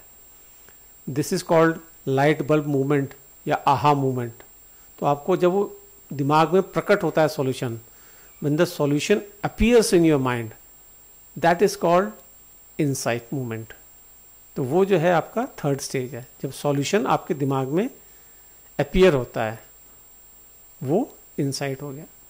फिर वो जो सॉल्यूशन अपियर हुआ, फिर आप उसको अप्लाई करके देखते हैं। जैसे केकुले ने बेंजीन का जो है फॉर्मूला दिमाग में उनके आया था कि हाँ ऐसा करने से हो जाएगा। तो फिर उसको कागज़ में करके देखा ना कैसा होता है कि नहीं हो सकता। हाँ तो हो गया। तो ये वेरिफिकेशन हो गया कि हाँ yes this is the correct solution तो इनसाइट के बाद में you verify the insightful solution whether it will work और not so if it work then it is verified so ये चार स्टेजेस जो है, होती हैं। देन एक होती है आर्टिफिशियल इंटेलिजेंस भी यूज़ होती है। आजकल तो बहुत ज़्यादा एमर्जिंग फ़ील्ड है ये, और फ्यूचर जो है आर्टिफिशियल इंटेलिजेंस का ही है। तो आर्टिफिशियल इंटेलिजेंस में क्या होता है कि हम जो है कंप्यूटर को इंफॉर्मेशन खाली दे रहे होते हैं। इंफॉर्मेशन दे रहे होते हैं, लेकिन हम कोई रूल उसको नहीं बता रहे होते हैं। जैसे हम सेंटेंसेस फ़ीड कर रहे हैं खाली कंप्यूटर में। और सेंटेंसेस जो है वो लेता जा रहा है कंप्यूटर लेकिन वो अपने आप फिर रूल फिगर करता है अच्छा ये वर्ड है तो इसका मतलब पास्ट टेंस है, ये है तो फ्यूचर टेंस है, ये है तो प्रेजेंट टेंस है, या ये सिंगुलर है, ये प्लूरल है। ये रूल जो है कंप्यूटर खुद ही सीखा गलती करेगा वो। लेकिन गलती करके उस गलती से सीख जाएगा कि अच्छा ये गलत था तो ये नहीं, ऐसे होगा। सो ऐसे वो खुद जो है सीखता जाता है, सीखता जाता है, सीखता जाता है। अपने रूल्स बनाता जाता है खुद। और वो सीखता चला जाता है। तो इसमें आर्टिफिशियल इंटेलिजेंस में क्या होता है कि कोई ह्यूमन बींग होगा, वो किसी ऐसे एक्सपर्ट नॉलेज सिस्टम जो कंप्यूटर में होगा, उसके पास में कोई प्रॉब्लम लेके जाएगा। और वो प्रॉब्लम से रिलेटेड जितनी भी इंफॉर्मेशन वो उसको कंप्यूटर को दे देगा। तो वो जो है कंप्यूटर फिर उसमें बेस्ट पॉसिबल सॉल्यूशन जो निकाल के दे देगा। जैसे अगर हम चेस की बात करें तो कोई भी जो चेस के लिए प्रोग्राम्ड हैं कंप्यूटर एल्गोरिज्म से, यूजिंग आर्टिफिशियल इंटेलिजेंस तो उनके में कोई भी पोजीशन आप फ़ीड करोगे तो वो जो है, इमीडिएटली जो है आपको सॉल्यूशन निकाल कर देगा जो बेस्ट पॉसिबल उस सिचुएशन के लिए है। जो कि ह्यूमन बींग को सोचने में बहुत टाइम लगेगा, और वो भी गारंटी नहीं है कि वो बेस्ट पॉसिबल सॉल्यूशन होगा या नहीं होगा। लेकिन इस कंप्यूटर सिमुलेशन की जो है क्रिटिसिज्म भी बहुत होती है। तो लोगों का ये भी कहना है कि कंप्यूटर जो कर रहा है that is not thinking thinking तो बिल्कुल ही अलग चीज़ है। कंप्यूटर तो खाली जो है रीजनिंग और कैलकुलेशन कर रहा है थिंकिंग नहीं है वो। Calculation is not thinking reasoning is not thinking जो फंडामेंटल आस्पेक्ट थिंकिंग का क्या है, वो खाली ह्यूमन बींग्स ही कर सकते हैं। क्योंकि हमारी सारी एक्टिविटीज़ जो है वो रिलेटेड टू सर्वाइवल होती हैं, पैदा होने से लेकर मरने तक। So thinking is related to survival to remain alive in the world which computer can never comprehend computer को ज़िंदा रहने के लिए कुछ थोड़ी करना है। तो वो थिंकिंग नहीं कर रहा है, ऐसा भी लोगों का कहना है। बट नेवर द लेस बहुत बड़ी बड़ी प्रॉब्लम सॉल्व कर रहा है artificial intelligence then next is theoretical approaches to problem solving तो सबसे पहले ट्रेडिशनल अप्रोच ट्रेडिशनल अप्रोच में क्या होता है? कि हमारे पास में ऑलरेडी जो है एक कॉम्प्लेक्स होता है स्टिमुलस रिस्पॉन्स का, कि भाई ये प्रॉब्लम आएगी तो ऐसे करना वो प्रॉब्लम आएगी तो ऐसे करना है। ऑलरेडी हमने लाइफ में बहुत सारी प्रॉब्लम सॉल्व की होती तो वो ऑलरेडी एक एग्जिस्टिंग स्टिमुलस रिस्पॉन्स एसोसिएशन होता है। प्रॉब्लम होगी स्टिमुलस हमारा जो एक्शन हो गया वो रिस्पॉन्स तो किस प्रॉब्लम पे क्या रिस्पॉन्स करना है, ये ऑलरेडी हमारे दिमाग में कई चीज़ों के लिए ऑलरेडी होता है। पिछले एक्सपीरियंस की वजह से। फिर जब हमारे जो ये एग्जिस्टिंग जो कॉम्प्लेक्स है, इसमें क्या होता है कि हम कोई प्रॉब्लम जब सॉल्व करते हैं तो जो एग्जिस्टिंग स्टिमुलस रिस्पॉन्स का जो जहाँ पे हमें सक्सेस मिलेगी तो वो री हो जाएगा, मज़बूत हो जाएगा। और जो एग्जिस्टिंग सिमुलस रिस्पॉन्स जहाँ पे वो फेलियर होगा, वो एक्सटिंक्शन हो जाएगा मतलब ख़त्म हो जाएगा। तो इस तरह जो वर्क करेगा, वो री होती जाएगी चीज़ें, और जो वर्क नहीं करेंगी, वो हमारे अंदर सिस्टम से हटती चली जाएँगी। ये ट्रेडिशनल अप्रोच होगी so next is gestalt approach gestalt approach में क्या है? मेरा एक वीडियो है जेस्टाल्ट साइकोलॉजी पे, आप उसको अलग से देख लीजिए, उसमें डिटेल में मैंने समझाया हुआ है। व्हाट इज़ जेस्टॉल साइकोलॉजी में क्या क्या चीज़ें होती हैं। सो बेसिक जो है जेस्टॉल्ट में होती है फिगर एंड ग्राउंड जो ग्राउंड हो गई वो पृष्ठभूमि हिंदी में, और फिगर जो है आकृति हो गई। If you see the figure on your screen तो इसमें आपको देखिए आठ एट डॉट्स दिखाई दे रहे होंगे। ऊपर दो, फिर तीन फिर तीन। तो अगर मैं आपसे कहूँ कि इन आठ डॉट्स को आप ज्वाइन करिए अपने पेन या पेंसिल कैसे भी, लेकिन दो कंडीशन जो है, पेन को उठाना नहीं है स्टार्ट करने के बाद. दूसरी चीज़, चार से ज़्यादा लाइन नहीं होनी चाहिए, और तीसरी चीज़, सारे आठों डॉट्स जो है टच होने चाहिए. तो अगर आप केवल डॉट्स पे ही घूमते रहेंगे तो सॉल्यूशन आपको कभी नहीं मिलेगा. क्योंकि आप खाली फिगर पे घूम रहे हैं. जो आठ डॉट्स हैं, वो फिगर हो गई. लेकिन जो बैकग्राउंड है, अगर आप उसको भी यूज़ करेंगे तो सॉल्यूशन मिल जाएगा आपको। तो जेस्टॉल साइकोलॉजी यही कहती है कि हम जो चीज़ों को जो है टोटैलिटी में देखते हैं आइसोलेशन में नहीं अलग अलग करके नहीं देखते। इसलिए हमको जो है चीज़ें अलग तरीके से समझ में आती देखिए, आप जो स्टार्ट लिखा है, वहाँ से जो है आप टूवर्ड्स योर राइट जाएँगे तो आप आगे तक, दो डॉट्स के आगे तक चले जाएँगे फिर वहाँ से जो है नीचे तक जाएँगे। फिर वहाँ से वापस स्टार्ट की तरफ़ जाएँगे और फिर डायगनली आ जाएँगे। तो आठों डॉट्स जो है कवर हो जाएँगी। So this is gestalt approach कि हम पूरा फिगर और ग्राउंड दोनों को देखें।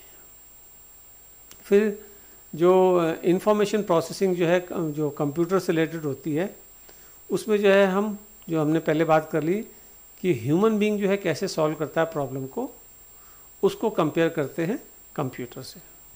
So that is also one approach then इसी में जो इंफॉर्मेशन प्रोसेसिंग वाला जो है, इसमें कुछ कंडीशंस होती हैं। ऐसा नहीं कि आप जब ह्यूमन बींग्स की तरह कर रहे हैं तो आपको हर चीज़ ह्यूमन बींग की तरह रखनी चाहिए। जैसे कि हमारी जो वर्किंग मेमोरी है ह्यूमन बींग्स की, उसकी लिमिटेड कैपेसिटी होती है। हाँ और उसमें जो है बहुत तेज़ी से जो है स्टोरेज और रिट्रीवल हो रहा होता है। अब बहुत तेज़ी से वर्किंग मेमोरी में इंफॉर्मेशन डाल भी रहे, निकाल भी रहे, क्योंकि लेस देन थर्टी सेकेंड्स में ही होता है सारा कुछ वर्किंग मेमोरी में। और जो हमारी लॉन्ग टर्म मेमोरी है, उसकी कैपेसिटी तो लार्ज होती है, लेकिन वहाँ पे बहुत कम एट ए टाइम जो है स्टोरेज और रिट्रीवल होता है। स्टोर होते जाता है, बहुत ज़्यादा हो जाता है, लेकिन एट ए टाइम जो है बहुत तेज़ी से हम ना बहुत ज़्यादा चीज़ें स्टोर करते हैं, ना बहुत ज़्यादा निकालते हैं। तो ये लॉन्ग टर्म मेमोरी की हमारी जो लिमिटेशन है। तो कंप्यूटर में भी हमको ऐसे ही रखना पड़ेगा। फिर जो है सीरियल प्रोसेसिंग, जैसे हम एट ए टाइम एक ही काम कर सकते हैं। अगर मैं आपको जो है दो क्वेश्चंस दूँ मैथमेटिक्स से एक में मल्टीप्लिकेशन में, एक में स्क्वायर रूट है तो एट ए टाइम आप एक ही कर पाओगे, पहले एक करोगे, फिर दूसरा करोगे। कंप्यूटर तो दोनों कर सकता है। तो आपको इसलिए कंप्यूटर में सीरियल प्रोसेसर लगाना पड़ेगा, जो पहले एक चीज़ करे, फिर दूसरा करे। तब वो ह्यूमन बींग के बराबर हुआ ना। तो ह्यूमन बींग्स जो अपने अधिकतर काम जो करते हैं, वो ह्यूरिस्टिक से करते हैं। एल्गोरिदम से नहीं करते हैं। क्योंकि हमको सर्वाइवल के लिए जो है ह्यूरिस्टिक की ज़रूरत है। हर जगह एल्गोरिदम लगाएँगे तो मर जाएँगे हम। टाइम ही नहीं होगा इतना। तो इसलिए जो इंफॉर्मेशन प्रोसेसिंग वाला मॉडल है रिलेटेड टू कंप्यूटर उसमें ह्यूरिस्टिक का यूज़ होता है। फिर जो है उसमें जो है वर्बल प्रोटोकॉल्स को यूज़ करते हैं, जो मैंने आपको बताया थिंकिंग अलाउड में। कैसे ह्यूमन बींग्स जो है डिसीज़न तक पहुँचते हैं, क्या प्रोसेस होता है, कैसे सोचते हैं, वो सब जो है उसमें डाला जाता है। तो उस वर्बल प्रोटोकॉल के बेसिस पे ह्यूरिस्टिक बनती है और उससे कंप्यूटर सॉल्व करता है। Then comes a Wickelgren's general problem solving strategy इसको ऐसे समझ लीजिए जैसे कोई पेड़ है, उसकी जड़ें हैं ज़मीन में और टॉप पे एक सिंगल पॉइंट है। बॉटम में जड़ें हैं, जो फैली हुई हैं, बहुत सारी हैं, और टॉप पे एक ही सिंगल पॉइंट है। अब इस पेड़ को आप उल्टा कर दिए you put this tree upside down अब क्या होगा? नीचे जो है सिंगल पॉइंट है, ऊपर बहुत सारे पॉइंट है। तो ये हमारी प्रॉब्लम की स्टेट समझ लीजिए। जब हम स्टार्ट कर रहे हैं प्रॉब्लम को, बहुत सारी पॉसिबिलिटीज़ हैं। लेकिन उसमें से हम किसी एक को स्टार्ट करेंगे। फिर वो हमको किसी एक इंटरमीडिएट स्टेज पे ले जाएगी। फिर उस इंटरमीडिएट स्टेज पे जो है कई रास्ते से पहुँचा जा सकता है। तो जो कई सारी चीज़ें कनेक्ट हो रही हैं, वो हो गए नोड कई सारे जो रास्ते आके एक जगह पे मर्ज हो रहे हैं, वो नोड हो गया। तो ऐसे हम एक नोड से दूसरे नोड पे जाते जाएँगे और लास्ट में उनमें से एक ही जो है रास्ता होगा सॉल्यूशन तक पहुँचने का। So this is Wickelgren's general problem solving strategy तो इसमें कुछ चीज़ें हैं, वो हम समझ रहे हैं। सबसे पहली चीज़ होती है इन्फ्रेंस इन्फ्रेंस का मतलब होगा जो हमको गिवन है स्टेटेड है, बताया गया है प्रॉब्लम के बारे में। उससे जो भी हम जो है समझ सकते हैं, वो इन्फ्रेंस हो गया। फिर next is classification of action sequences इसमें क्या होता है कि जितने पॉसिबल सॉल्यूशंस है, उसमें हम देखते हैं कि ये करो या ये करो, एक ही बात है। या तीसरा चौथा जो है, ये और ये एक ही बात है। तो ऐसे जो इक्विवेलेंट क्लासेस हैं सो हम उसमें डिवाइड करते हैं कि ये ये सॉल्यूशन सेम है, इनका यही नतीजा सेम आएगा, इस कैटेगरी में ये सेम आएगा, ऐसे हम डिवाइड करते हैं। फिर then is stated evaluation and hill climbing तो इसमें जो है, हम एक क्वांटिटेटिव इवेल्यूशन करते हैं कि भाई इतना जो है, फ़र्क पड़ेगा। एक संख्या बताएँगे। और फिर उसके बेसिस पे हम बेस्ट सॉल्यूशन चूज़ करेंगे जो इक्विवेलेंट एक्शंस जो हमने किए हुए हैं। कि भाई जैसे स्किपिंग रोप करो तो उससे जो है हफ़्ते में एक के वेट कम होगा। रनिंग करो तो भी हफ़्ते में एक के जी वेट कम होगा। तो ये इक्विवेलेंट क्लास हो गए। तो अब इसमें जो है, हमने जो है इवेल्यूशन क्वांटिटेटिव किया, एक ही के कम हो रहा है। तो हमने कहा कि भाई बारिश होगी तो रनिंग में तो नहीं जा सकते हैं। तो हम क्या ऐसा करते हैं स्किपिंग करेंगे। तो रस्सी कूदेंगे और वेट कम करेंगे। तो ऐसे जो है स्टेट इवेल्यूशन हिल क्लाइंबिंग है। तो और हम अपने गोल के नज़दीक होते जाएँगे। हमें पाँच के जी वेट कम करना है तो पाँच वीक में कम हो जाएगा। This is stated evaluation and hill climbing next is subgoals तो हम जो है, बड़ी प्रॉब्लम को जो है सब गोल्स बना लेते हैं कि, भाई, पहले जो है, हम मान लो किसी को जो है डायबिटीज़ भी है, उसको जो है वेट भी कम करना है और उसको जो है पढ़ाई में भी जो है टाइम देना है। तो हम सब कुछ बना लेंगे। पहले हम डायबिटीज़ को कंट्रोल करेंगे क्योंकि हेल्थ ज़्यादा इंपॉर्टेंट है। फिर जो है जब डायबिटीज़ कंट्रोल हो गई तो अब जो है वेट पे फोकस करेंगे।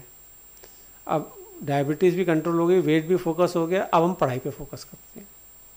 तो ये सब गोल्स बनाए हमने, ऐसे होता है। फिर नेक्स्ट इज़ कॉन्ट्रडिक्शन कॉन्ट्रडिक्शन में क्या है? जो इनकन्सिस्टेंट चीज़ें हैं गोल्स से, वो हम हटा देते हैं। जो चीज़ें हमारे गोल्स के लिए बिल्कुल जायज़ नहीं है which are not taking to towards the goal we eliminate the अगर जो है आपको वेट कम करना है और पिज़्ज़ा भी खाना है तो ये तो जो है इनकन्सिस्टेंट चीज़ें हो गई ना। वेट रिडक्शन और पिज़्ज़ा तो नहीं चल सकता था। तो आपको पिज़्ज़ा को हटाना पड़ेगा। So this is contradiction next is backward working ये हमने बात कर लिया जो मेज़ में मैंने आपको बताया था सेंटर से आप बाहर आएँगे। Then finding relation between problems new and solve problem पहले जो सॉल्व की है, वो आपको पता ही है, जो नई प्रॉब्लम है, उससे मिलाया, और जो मैच करा, उसके हिसाब से फिर इसको सॉल्व किया। This is Wickelgren's general problem solving strategies then comes Newell's approach तो न्यूवेल एंड साइमन तो उन्होंने जो एक, बोला कि एक जो है ऑब्जेक्टिव स्ट्रक्चर जो है प्रॉब्लम का, कैसे बताया सकता है कि एक जो है, जो मैं आपको बता चुका हूँ, कई स्टेट्स होंगी।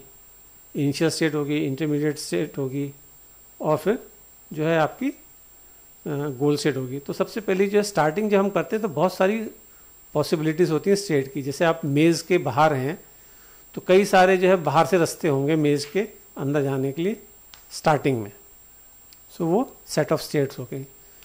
फिर नेक्स्ट इज़ मैनी इंटरमीडिएट से बीच में भी कई मेज़ के अंदर भी जाएँगे। तो कई रास्ते होंगे। कोई भी थोड़ी दूर जाते ही बंद हो जाएगा थोड़ा ज़्यादा जाके बंद होगा कोई और ज़्यादा जाके बंद होगा। तो ऐसे बहुत सारी इंटरमीडिएट स्टेट्स भी होंगी। और then comes the end state कि लास्ट में हम मेज़ के सेंटर में पहुँच गए तो वो जो है एंड स्टेट हो गई। ये न्यूवेल की अप्रोच हो गई। Then comes problem solving as modelling तो हम, जो भी हमारी प्रॉब्लम है, उसका हम एक मॉडल बनाएँगे, जो कि केस स्पेसिफिक होगा, जो हमारी प्रॉब्लम है, उससे रिलेटेड पर्टिकुलर मॉडल होगा। और वो मॉडल ऐसा होना चाहिए जो हमको अल्टीमेटली गोल अचीव करवा दे। तो इसमें जो है, दो तरह की चीज़ें होती है इस मॉडल में। एक डोमेन मॉडल होता है, एक टास्क मॉडल होता है। तो डोमेन मॉडल में क्या होता है जो भी रिलेटेड इंफॉर्मेशन होती है related to the problem related to the system वो सारी प्रॉब्लम्स और सिस्टम्स की इंफॉर्मेशन जो है आपस में कनेक्टेड हो। खाली इंफॉर्मेशन नहीं हो कनेक्टेड हो। कैसे कनेक्टेड है, इस चीज़ से क्या होगा, उससे क्या होगा? ये सारी चीज़ें जो हैं आपस में सारे स्टेटमेंट्स हैं और कनेक्टेड हैं। This is domain model and then next is the task model कि करना क्या है, वो कैसे होगा? वो जो है भी होना चाहिए। जैसे मान लो आपने एक जो है ऐसी मशीन बनाई जिससे कि आपको ये पता लग जाए कि गाड़ी में व्हीकल में प्रॉब्लम क्या है। तो आप उसमें अगर मशीन से कनेक्ट करेंगे व्हीकल को तो वो मशीन को एग्जैक्टली exactly बताना चाहिए कि गाड़ी के इस पार्ट में प्रॉब्लम है। तो this is task model so domain model में इंफॉर्मेशन फ़ीड है इंटरकनेक्टेड है टास्क मॉडल में वो टास्क हो रहा है। So as per competency theory जो प्रॉब्लम सॉल्विंग मेथड है, इसमें क्या तरीका है डोमेन मॉडल और टास्क मॉडल जो है, ये आपस में कनेक्टेड हों, ये एक साथ हों। खाली डोमेन मॉडल से काम नहीं चलेगा, खाली टास्क मॉडल से काम नहीं चलेगा। ये दोनों अगर जब कनेक्टेड होंगे, तब हमारी प्रॉब्लम सॉल्व होगी। Then we come to the last unit which is impediments to problem solving impediments का मतलब होता है रुकावटें, बाधाएँ। तो इसमें जो है, सबसे पहले जो है, हम इफ़ेक्टिव प्रॉब्लम सॉल्विंग के बारे में बात करेंगे। तो हिज मॉडल में जो है, तीन स्टेप हैं। सबसे पहले अंडरस्टैंडिंग प्रॉब्लम प्रॉब्लम को समझिए। स्ट्रेटेजाइजिंग आप जो स्ट्रेटेजी बनाइए, रणनीति बनाइए। And the third is implementation फिर जो रणनीति है आपने बनाई, उसको इम्प्लीमेंट कर दीजिए। देन कम्स हॉल्स मॉडल ये इस मॉडल में जो है एथिक्स का ज़्यादा जो है फोकस है। एथिक्स का फोकस का मतलब जो है, क्या सही है, क्या गलत है, क्या करना चाहिए, क्या नहीं करना चाहिए, इस पर फोकस ज़्यादा है। तो पहला इसमें सवाल जो है, जवाब जो देना होता है कि जो भी प्रॉब्लम है, इसका बेसिक इशू क्या है? मूल मुद्दा क्या है? Then next is what principle is at risk कौन सा सिद्धांत जो है वो खतरे में है। और तीसरा है हु विल बेनिफिट किसको फ़ायदा होगा? और चौथा है will benefit more than harm क्या जो है फ़ायदा जो है वो ज़्यादा है या नुकसान ज़्यादा है? आ, जैसे मैं एक एग्ज़ाम्पल देता हूँ आपको। अगर मान लीजिए डॉक्टर्स को ये पता लग जाए कि किसी आदमी की डेथ जो है किसी भी प्रॉब्लम की वजह से, मान लीजिए कि छः महीने में हो जाएगी, पता है डॉक्टर को छः छः महीने के ज़्यादा ही ज़िंदा नहीं रहेगा। तो अब क्वेश्चन ये आता है कि क्या इलाज हो नहीं सकता है? मरना डेफिनेट है। तो क्या उसको बताना ठीक है या नहीं ठीक है? ये बेसिक इशू हो गया। अब which principle is at risk कि इसमें रिस्क वाली क्या बात है? कि अगर हम उसको नहीं बताएँगे तो ये गलत बात होगी कि उसको अपने बारे में ही हम नहीं बता रहे हैं, उसका अधिकार है। और अगर हम बता देते हैं तो ये रिस्क है कि वो सदमे में भी आ सकता है। फिर third is who will benefit अगर हम बताएँगे तो किसको फ़ायदा होगा, नहीं बताएँगे तो किसको फ़ायदा होगा? और फिर चौथा क्वेश्चन कि बताने से ज़्यादा फ़ायदा होगा कि ना बताने से ज़्यादा फ़ायदा होगा? सो so, ये भी एक कंसर्न होता है प्रॉब्लम सॉल्विंग में। हमेशा मैथमेटिकली प्रॉब्लम सॉल्व नहीं होती है लाइफ की खास तौर से। There are many ethical issues also involve when you solve the problem then एक चीज़ होती है आइंस्टलिंग ये जो है एक टेंडेंसी हमारी होती है जो अगर हम कोई चीज़ जो है हम कर रहे हैं और रूटीन में करते चले जा रहे हैं तो हमारा माइंड सेट हो जाता है कि अच्छा ये प्रॉब्लम आएगी तो ऐसा करना, ये प्रॉब्लम आएगी तो बस ऐसे हर बार करते हैं ना करते हैं ना ब्लाइंडली हम करते हैं। और कई बार बड़ा इजी सा सॉल्यूशन भी होता है तो हम वो नहीं कर पाते हैं। जैसे फॉर एग्जांपल अगर आप सामने स्क्रीन पे अपने देखें तो one two three four five six six problems दी हैं।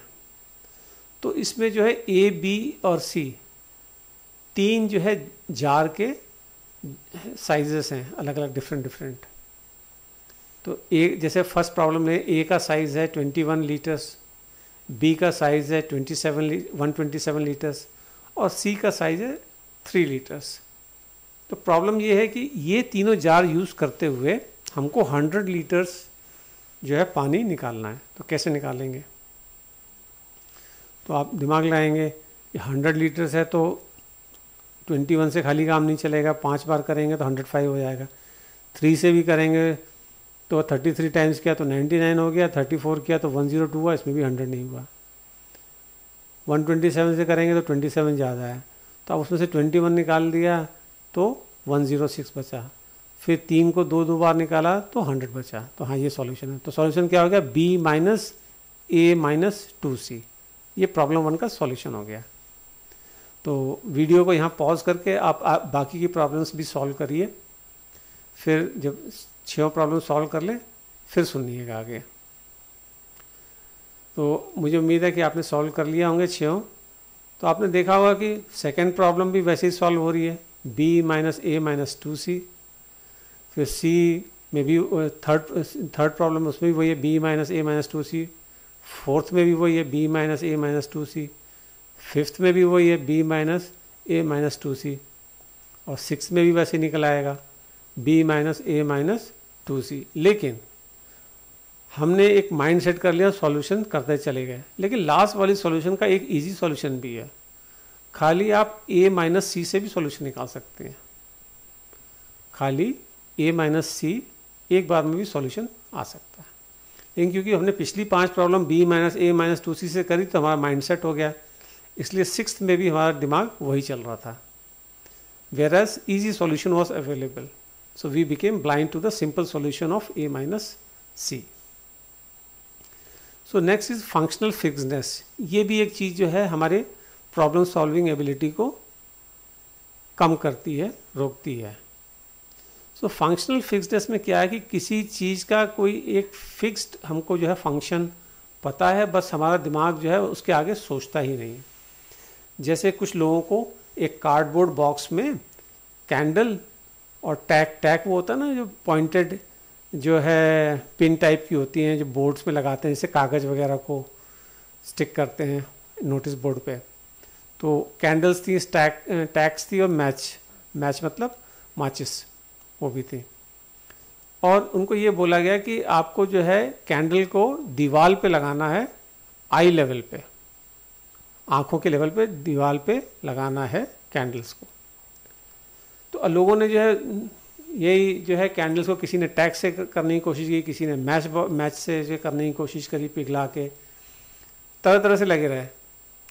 लेकिन किसी ने भी जो है कार्डबोर्ड बॉक्स को यूज़ नहीं किया। क्यों नहीं किया? क्योंकि उनके दिमाग में ये फ़ंक्शन फिक्स्ड हो गया था कि कार्डबोर्ड बॉक्स तो इन सामानों को रखने के लिए दिया गया है। ये दिमाग काम नहीं कि कार्डबोर्ड बॉक्स को अगर हम दीवार पे टैक्स से जो है फिक्स कर दें तो कार्डबोर्ड बॉक्स के ऊपर जो है जो है मोमबत्ती आराम से लग जाएगी आई लेवल पे। So this is functional fixedness दूसरा एग्जांपल इसी का फंक्शनल फिक्सनेस मान लीजिए आपको आठ कॉइन्स दिए गए eight coins were given to you and one of them is counterfeit एक नकली है। तो जो काउंटरफीट है, नकली है, उसका वेट बाकी सात से कम है। और आपको एक वेइंग मशीन दी है और कंडीशन ये कि सिर्फ़ दो बार जो है तोल के you have to weigh only twice and find out which one is the counterfeit coin अगर आपको तीन बार दिया जाए तो बहुत ही आसान है। आपके दिमाग में पहला तो वही आया होगा, चार चार करके तोल लेंगे। ठीक है, पता लग गया कि एक तरफ़ कम होगा, जिस तरफ़ कम है वेट उसमें से एक है। फिर दो दो करके तोलेंगे। तो फिर जो है एक तरफ़ कम होगा तो उन दो में से एक होगा, लेकिन आपके दो चांसेस ख़त्म हो गए कि दो में से एक कौन सा है। तो आप इसको प्रॉब्लम को, क्योंकि हाफ़ हाफ़ करके सोच रहे थे, इसलिए सॉल्यूशन नहीं ढूंढ पा रहे थे। तो आप जो है हाफ़ का जो है फिक्सनेस आपके दिमाग में आ गई थी। इसको आप सॉल्यूशन को ऐसे भी कर सकते हैं। आप बजाय फोर फोर के थ्री थ्री लें। जब आप थ्री थ्री लेंगे तो तीन ही पॉसिबिलिटी हैं। या तो आपके लेफ़्ट वाले में होगा, जो भी तराजू का लेफ़्ट है, या तो उसमें से एक होगा, तीन में से, या राइट वाले तीन में से एक होगा, या बचे हुए दो में से एक होगा। अगर जो है, मान लो दोनों बराबर हैं तो फिर जो दो बचे हुए क्वाइन है, उनको वे किया तो जिस तरफ़ कम है, वो नकली हो गया। या अगर दोनों में से एक ज़्यादा है, कम है, तीन तीन रखे, दोनों में से एक साइड जो कम है, फिर उसमें से कोई से भी दो ले लिए। अगर वो दोनों बराबर है तो तीसरा जो रखा हुआ वो हो गया काउंटरफीट और जो तराजू पे दो रखे उसमें से कोई काउंटरफीट है तो वो अपने आप ही दिख जाएगा कम वेट का। तो इस तरह से आप दो बार में निकाल सकते हैं कि फंक्शनल फिक्सनेस नहीं होगी तो। फिर जो है, जो प्रॉब्लम की जो करेक्ट रिप्रेजेंटेशन हमारे दिमाग में हो तो भी सॉल्यूशन बड़े अच्छे से निकल आएगा। जैसे मैं आपसे जो पहला ग्रीन से लिखा हुआ वो पढ़िए there is a man at home the man is wearing a mask and there is a man coming to home what is happening बताइए क्या हो रहा है? तो क्योंकि आप घर और आदमी और मास्क ऐसे सोच रहे होंगे तो करेक्ट रिप्रेजेंटेशन आपके दिमाग में नहीं आ रहा होगा। लेकिन अगर आप आइस हॉकी को अगर ध्यान में करेंगे तो आइस हॉकी में या इवन बेसबॉल में भी अगर आप कहेंगे तो उसमें जो पीछे गोलकीपर होता है वो मास्क पहने हुए होता है। और जहाँ वो खड़ा होता है बेसबॉल में गोल की जो पीछे प्लेयर खड़ा होता है जो बॉल को पकड़ रहा होता है उसको बेस कहते हैं और उस बेस को होम कहते हैं। तो बेसबॉल में जो है जो प्लेयर होते हैं बॉल को हिट करते हैं और भाग के जो होम बेस होता है उसकी तरफ़ आते हैं। सो so, आपको अगर करेक्ट रिप्रेजेंटेशन है तो आपको समझ आएगा हाँ ये बेसबॉल की बात हो रही है। अगर रिप्रेजेंटेशन करेक्ट नहीं है तो आपको समझ में नहीं आएगा कि प्रॉब्लम कैसे सॉल्व होगी। फिर दूसरा है, एक गेम अगर आपको बोला जाए, जैसे one two three four five six seven eight nine ये नौ नंबर्स हैं और दो प्लेयर लिए। और कोई भी प्लेयर पहले स्टार्ट कर सकता है और बारी बारी से ऑल्टरनेटिवली दोनों प्लेयर जो है एक एक नंबर चूज़ करेंगे।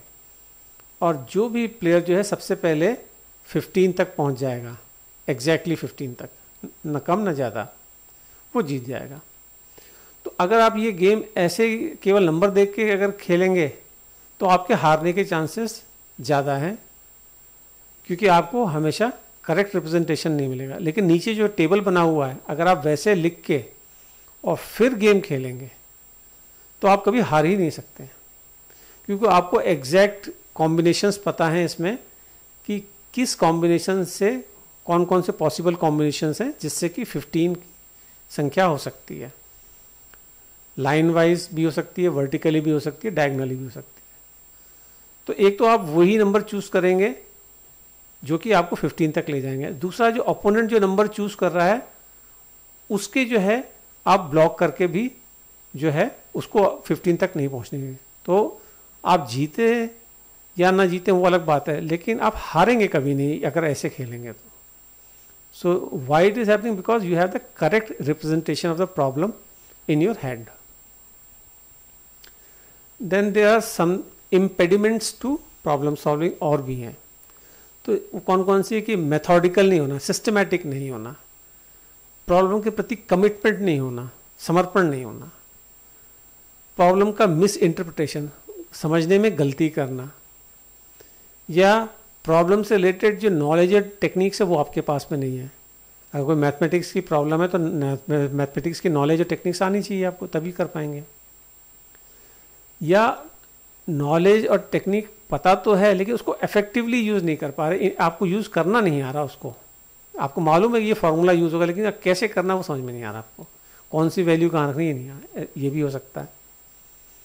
या जो आप मेथड यूज़ कर रहे हैं, वो उस पर्टिकुलर प्रॉब्लम के लिए अप्रोप्रिएट नहीं है। ये भी पॉसिबल है।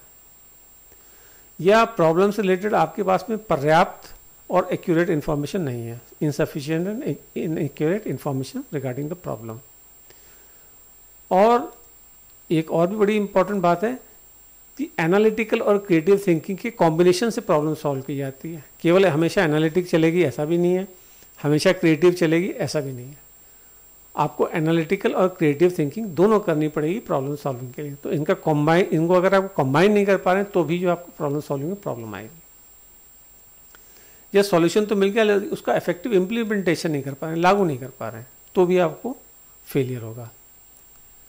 देन नेक्स्ट इज़ एक ये होता है कि अब हम बात कर रहे हैं प्रोडक्टिव प्रॉब्लम सॉल्विंग की। पहले हमने जो बात करी थी इम्पेडिमेंट्स टू प्रॉब्लम सॉल्विंग थी अब जो हम बात कर रहे हैं impediments to productive problem solving क्योंकि जो नई चीज़ हम निकाल रहे हैं प्रोडक्टिव रिप्रोडक्टिव नहीं प्रोडक्टिव तो उसमें एक ये होता है कि ये यस बट इट हाँ है तो लेकिन तो उसमें फिर प्रोडक्टिव थिंकिंग नहीं होती फिर एक होती है इंटेलेक्चुअल डिफेंसिवनेस कि अपनी बात को जो है गलत ना साबित हो जाए, इसलिए कोई नई चीज़ को नहीं सुनना या मानना तो भी आप प्रोडक्टिव थिंकिंग नहीं कर पाओगे।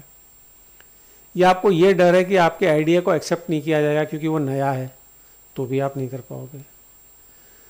फिर आप अगर प्रॉब्लम के प्रति ऑब्जेक्टिव नहीं हो पाओगे कि हम भी हमें इस प्रॉब्लम को एक्चुअली सॉल्व करना है सॉल्यूशन नहीं हो रहा तो बात गलत है। ऐसे ऑब्जेक्टिवली अगर आप नहीं सोच पा रहे हो तो भी जो है आप प्रोडक्टिव प्रॉब्लम सॉल्विंग नहीं कर पाओगे। या आपको गलत होने का डर है you have fear of being wrong तो भी नहीं होगा। या आपको जो है इमेजिनेटिव नहीं हो, आपकी कल्पनाशीलता नहीं है तो आपको अलग से कोई चीज़ कहने में जो जो कोई नहीं कह रहा है, वो जो है आप नहीं कर पा रहे हो तो भी आपको प्रॉब्लम सॉल्विंग में आएगी। और बहुत अगर आप इनफ्लेक्सिबल हो रिजिड हो, अपने उससे हट ही नहीं रहे हो स्टैंड से, जो भी आपका है तो भी नहीं कर पाओगे। या आप बहुत ज़्यादा सीरियस हो, थोड़ा हँसी खुशी का माहौल भी होना चाहिए प्रोडक्टिव प्रॉब्लम सॉल्विंग के लिए। हमारा दिमाग बेस्ट काम तब करता है जब वो खुश होता है। तो इसलिए प्रॉब्लम सॉल्विंग के टाइम में खुश होना चाहिए। फिर not turning into one's inner child हम सब के अंदर एक बच्चा होता है, किसी भी एज का हो। तो बच्चा जैसे क्यूरियस होता है ना, उसको गलती करने से डर नहीं होता है। उसको कोई शर्म नहीं होती कि कोई क्या सोचेगा। तो जब तक वैसा अंदर से नहीं होगा प्रोडक्टिव थिंकिंग नहीं कर पाओगे। अगर आप हमेशा सही रहना चाहते हो चाहते हो कि कभी गलती ना हो, हमेशा जो है आपका हंड्रेड परसेंट परफेक्ट सॉल्यूशन हो। तो प्रोडक्टिव थिंकिंग नहीं हो पाएगी। फिर अगर आपको प्रॉब्लम सॉल्विंग करने में रिजेंटमेंट है मेरे को दे दी प्रॉब्लम सॉल्व करने की किसी और को करना चाहिए। फिर आप ये प्रॉब्लम को ओन नहीं कर रहे हो कि हाँ ये मैं करूँगा, क्या बात है? तो भी आप नहीं कर पाओगे। या ये सोचो कि ये तो ये किसी और की समस्या है, किसी और को करना चाहिए तो भी नहीं होगा। आप फिजिकली या मेंटली थके हुए हो बहुत ज़्यादा तो भी नहीं होगा। बर्नआउट, स्ट्रेस एंजाइटी है तो भी नहीं होगा। या उस प्रॉब्लम को रिलेटेड अंदर गुस्सा है तो भी नहीं होगा। मैंने बताया था ना कि जो माइंड बेस्ट काम करता है जब when you are happy so गुस्से में प्रॉब्लम सॉल्व नहीं होती है, कोई सी भी।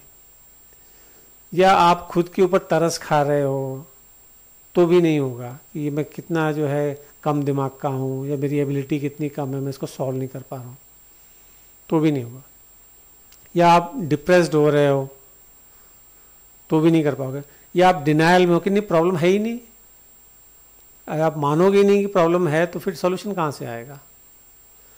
या आप बार्गेनिंग कर रहे हो कि बस ये जो मेरे फ़ायदे की चीज़ है, वो तो मैं कर दूँ, बाकी कोई और देखे तो भी प्रॉब्लम सॉल्व नहीं होती है। तो जो टीम्स या स्मॉल ग्रुप्स में प्रॉब्लम सॉल्व की जाती है, उसमें अगर कुछ चीज़ें ध्यान नहीं दी जाए तो प्रॉब्लम सॉल्विंग प्रॉब्लम आती है। तो सबसे पहली चीज़ है वो लैक ऑफ़ स्ट्रक्चर हमको पता होना चाहिए फोकस हमारा क्या है, हमें किस डायरेक्शन में जाना है प्रॉब्लम सॉल्विंग के लिए।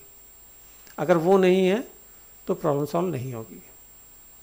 और ग्रुप में अगर पुअर कम्युनिकेशन अच्छे से एक दूसरे से बात नहीं कर रहे हैं, पूरी इन्फॉर्मेशन शेयर नहीं कर रहे हैं तो भी नहीं होगी। या नो कम्युनिकेशन बात ही नहीं कर रहे हैं आपस में। हर आदमी जो है अपने में मस्त है, दूसरे से कोई परवाह ही नहीं है। तो भी ग्रुप में प्रॉब्लम सॉल्विंग नहीं होगी। या नेगेटिव एटीट्यूड जो भी मैंने बताया था फ्लेक्सिबल माइंड नहीं ओपन माइंड नहीं है, कि भाई मैं गलत हो सकता हूँ या नई बातें सुनते हैं ना, क्या बात है? तो भी नहीं होगी। या जब हम प्रॉब्लम सॉल्विंग करने बैठे हैं ग्रुप में तो हमारा कोई एजेंडा ही नहीं है कि हमें करना क्या है। गोल ही नहीं है कि कहाँ पहुँचना है। तो मैंने बताया था ना गोल और गोल स्टेट तो होनी चाहिए। तभी तो इनिशियल स्टेट से पता चलेगा कि वहाँ पर कहाँ जाना हमें।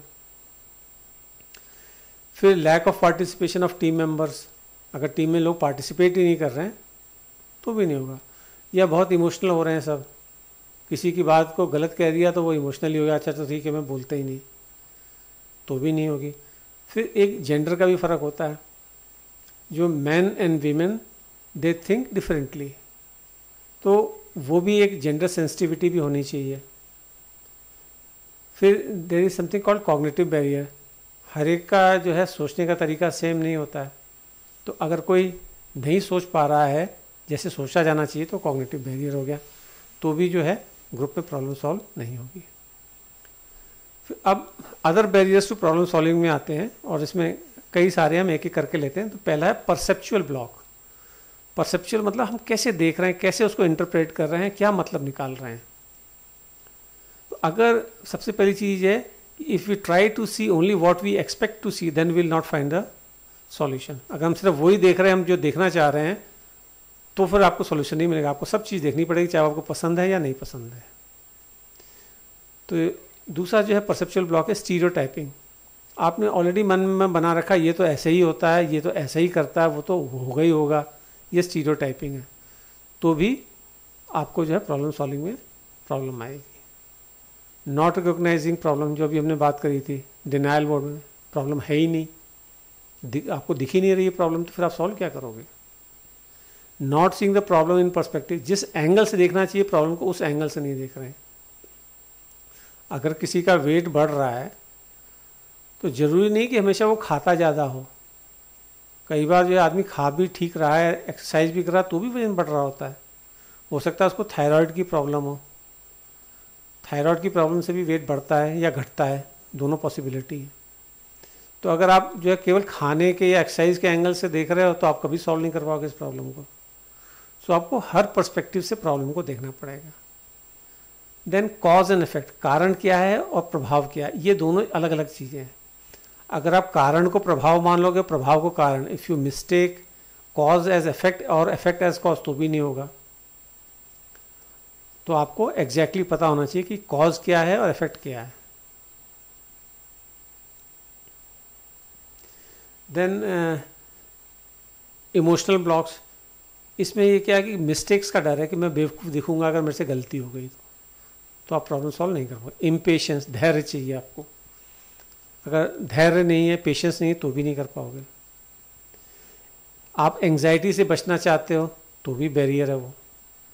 आपको रिस्क से फियर है तो भी वो बैरियर है। आपको हर चीज़ ऑर्डर में चाहिए, कोई डाउट नहीं होना चाहिए, सब चीज़ क्लियर होनी चाहिए, तब मैं प्रॉब्लम सॉल्व करूँगा।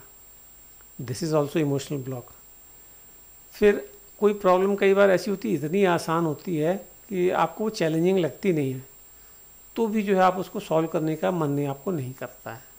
So these are the emotional blocks now comes intellectual blocks intellectual blocks में सबसे पहली चीज़ है लैक ऑफ़ नॉलेज और स्किल आपको उसकी जानकारी है ही नहीं, उस नॉलेज और जो चाहिए। फिर क्रिएटिव थिंकिंग जो हमने बात करी, वो क्रिएटिव थिंकिंग नहीं है आपके पास। फिर जो है इनफ्लेक्सिबल थिंकिंग रिजिड हो आप। जो बस फिक्स तरीके है, उसी तरीके से चल रहे हो। नए तरीका जो है, कोई सोच ही नहीं रहे नॉट बींग मेथोडिकल सिस्टमेटिक तरीके से आप चल ही नहीं रहे हो तो कैसे होगा? एल्गोरिदम में जैसे अगर आप सॉल्व कर रहे हो तो आपको सिस्टमेटिकली चलना पड़ेगा।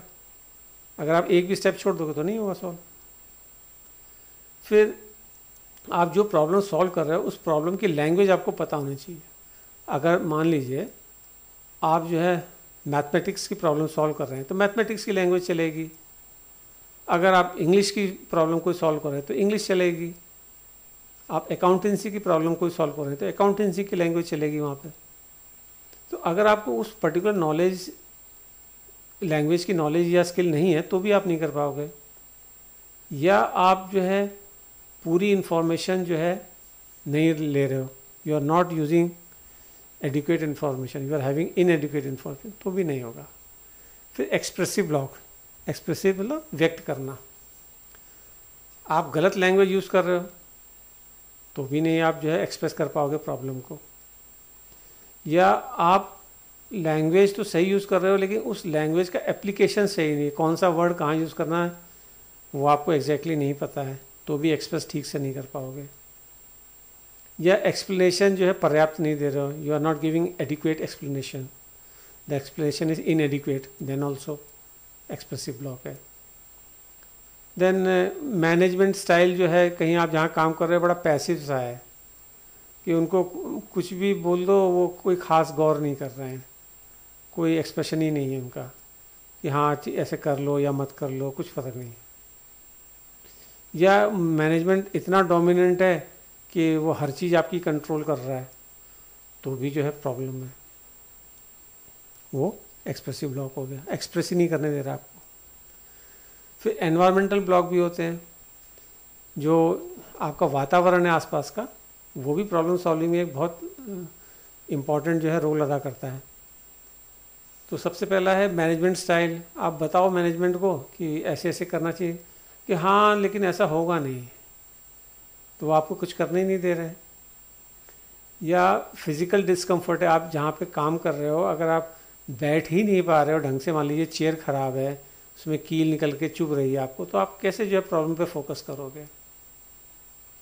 या लैक ऑफ़ सपोर्ट है कोई आपको जो इन्फॉर्मेशन चाहिए या, किसी एक्सपर्ट की हेल्प चाहिए वो आपको कोई दे नहीं रहा है तो कैसे आपको प्रॉब्लम सॉल्व होगी? या तनाव है वहाँ का वर्किंग एटमॉस्फेयर ऐसा है स्ट्रेस में रहते हैं हमेशा। तो मैंने बताया ना mind works best when it is happy तो स्ट्रेस में भी प्रॉब्लम सॉल्यूशन नहीं होता है। कम्युनिकेशन नहीं हो रहा है। तो भी प्रॉब्लम सॉल्व नहीं हुई। या मोनोटोनस वर्क एक ही टाइप का काम है रिपीट किया है रिपीट किया है बार बार वही। तो भी जो है आपकी प्रॉब्लम सॉल्विंग का मन नहीं करता है। या आपके काम से मान लीजिए कि आपके सुपीरियर्स जो है खुश हैं, बड़े हैप्पी हैं तो आपको लगेगा कि अब मुझे और कुछ करने की ज़रूरत नहीं everybody is happy with me जो मैं कर रहा हूँ, वैसे वेरी गुड वेरी गुड बोलते रहते और क्या करने की ज़रूरत? तो भी जो है आप चैलेंजेस नहीं लेते हो। या उल्टा भी पॉसिबल है। किसी को आपसे कोई उम्मीद ही नहीं है। अरे तो किसी काम का आदमी नहीं है। तो भी जो है, आप जो है, नए क्रिएटिव तरीके से नहीं सोचोगे प्रॉब्लम सॉल्यूशंस नहीं करोगे। देन कल्चरल ब्लॉक्स भी होते हैं। जो हमारा संस्कृति है कल्चर है, वो भी कई बार जो है ब्लॉक बन जाता है प्रॉब्लम सॉल्विंग में। कैसे? कि कई बार हम स्टेटस को को एक्सेप्ट कर लेते हैं। यथास्थिति को हम स्वीकार कर लेते हैं। भाई, ये ऐसा है, बस ऐसा ही ठीक हमने स्वीकार कर लिया, क्वेश्चन ही नहीं कर रहे हैं कि भाई इससे अच्छा कुछ हो सकता है या ऐसा क्यों होता है या कभी कुछ ट्राई और किया भी गया, कोई नो क्वेश्चन। स्टेटस को यथास्थिति जो है एक्सेप्ट कर लिया तो फिर आप जो प्रोडक्टिव प्रॉब्लम सॉल्विंग नहीं कर पाएँगे। या डिसलाइक फॉर चेंज है। आप चेंज को पसंद ही नहीं करते हैं, कोई चीज़ चेंज हो, जो है वही पसंद है। हमें यही करना है, यही पसंद है और कुछ नया चाहिए ही नहीं। तो आप फिर नई चीज़ कैसे करोगे? फिर कई कल्चर्स में ये सोचा जाता है कि जो इमेजिनेशन है फैंटेसीज़ हैं, या हँसी मज़ाक करना है, ये काम के वक्त नहीं होना चाहिए।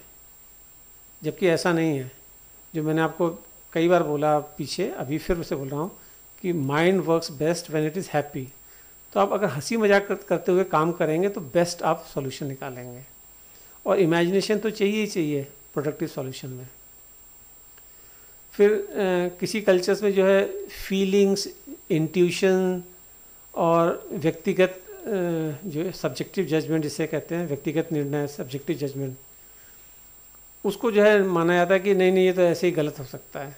उनके हिसाब से जो ऑलरेडी उनका जो सिस्टम है उस सिस्टम के हिसाब से चलना चाहिए। लेकिन ऐसा ज़रूरत नहीं। कई बार जैसे होता है ना गट फीलिंग आपने भी अपनी लाइफ में बहुत बार फेस किया होगा। जो आपने सोचा वो बाद में वो वैसे ही हुआ। कैलकुलेशन कुछ और कर रही थी, लेकिन जो आप सोच रहे थे वो सही थे। तो फीलिंग्स इंट्यूशन और सब्जेक्टिव जजमेंट को भी जो है तरजीह देनी चाहिए, उस पर भी अटेंशन देना चाहिए। या हम बहुत ज़्यादा जो एम्फेसिस दें कंपटीशन या कोऑपरेशन पे, दोनों ही ख़राब है। ज़रूरत से ज़्यादा कंपटीशन होगा तो आपस में जो है एक दूसरे की सब टांग खींचेंगे, जड़ काटेंगे तो प्रोडक्टिव चीज़ें तो नहीं होंगी। या ज़रूरत से ज़्यादा कोऑपरेशन होगा तो लोग इम्प्रूव करने की कोशिश नहीं करें, कोई किसी से आगे बढ़ना ही नहीं चाहेगा। या कई चीज़ें ऐसी कल्चर में होती हैं, वो टैबू होती हैं, उसके बारे में बस कोई बात भी नहीं करेगा, बात ही नहीं करनी है, उसको चेंज करना ही पाप है तो भी नई चीज़ नहीं हो सकती है। So these are the cultural things then अब जो जो टीचिंग और लर्निंग स्ट्रेटजीज जो एनहेंस करती हैं प्रॉब्लम सॉल्विंग को, उसके बारे में बात करते हैं। सो पेडागोगिकल स्ट्रेटजीज पेडागोगिकल का मतलब वो जैसे आप क्लास में पढ़ते हैं ना, एक टीचर आता है, वो पढ़ाता है, बच्चे बैठ के पढ़ते हैं। तो इसकी एक प्रॉब्लम ज़रूर है कि ये, एक फिक्स तरीका है और सबके लिए हो सकता है सूट ना करे, लेकिन इसके कुछ फ़ायदे भी हैं। जैसे कि जो टीचर है, वो बच्चों के जो है इमोशनल साइकोलॉजिकल और कॉग्निटिव बैरियर्स है, उनको दूर कर सकता है, जो हमने पीछे पढ़े, उनको टीचर एड्रेस कर सकता है। फिर दूसरा, बच्चे अपने जो है फियर्स हैं स्टूडेंट्स जो है, अपने फियर है जो डर है, वो टीचर को बता सकते हैं तो उसका सॉल्यूशन मिल सकता है। फिर टीचर जो है प्रॉब्लम सॉल्विंग में एक्टिवली इन्वॉल्व कर सकता है बच्चों को क्लास में कोई प्रॉब्लम दी, और उनको ग्रुप बना के बोला सॉल्व करो। तो इन्वॉल्व हो गया वो। फिर मल्टीपल अटैम्प्ट बोल सकते हैं, कोई एक बार हो गया, कोई बात नहीं, दूसरी बार ट्राई करो, तीसरी बार करो, जितनी बार मर्ज़ी करो। तो उससे भी बहुत हेल्प मिलती है।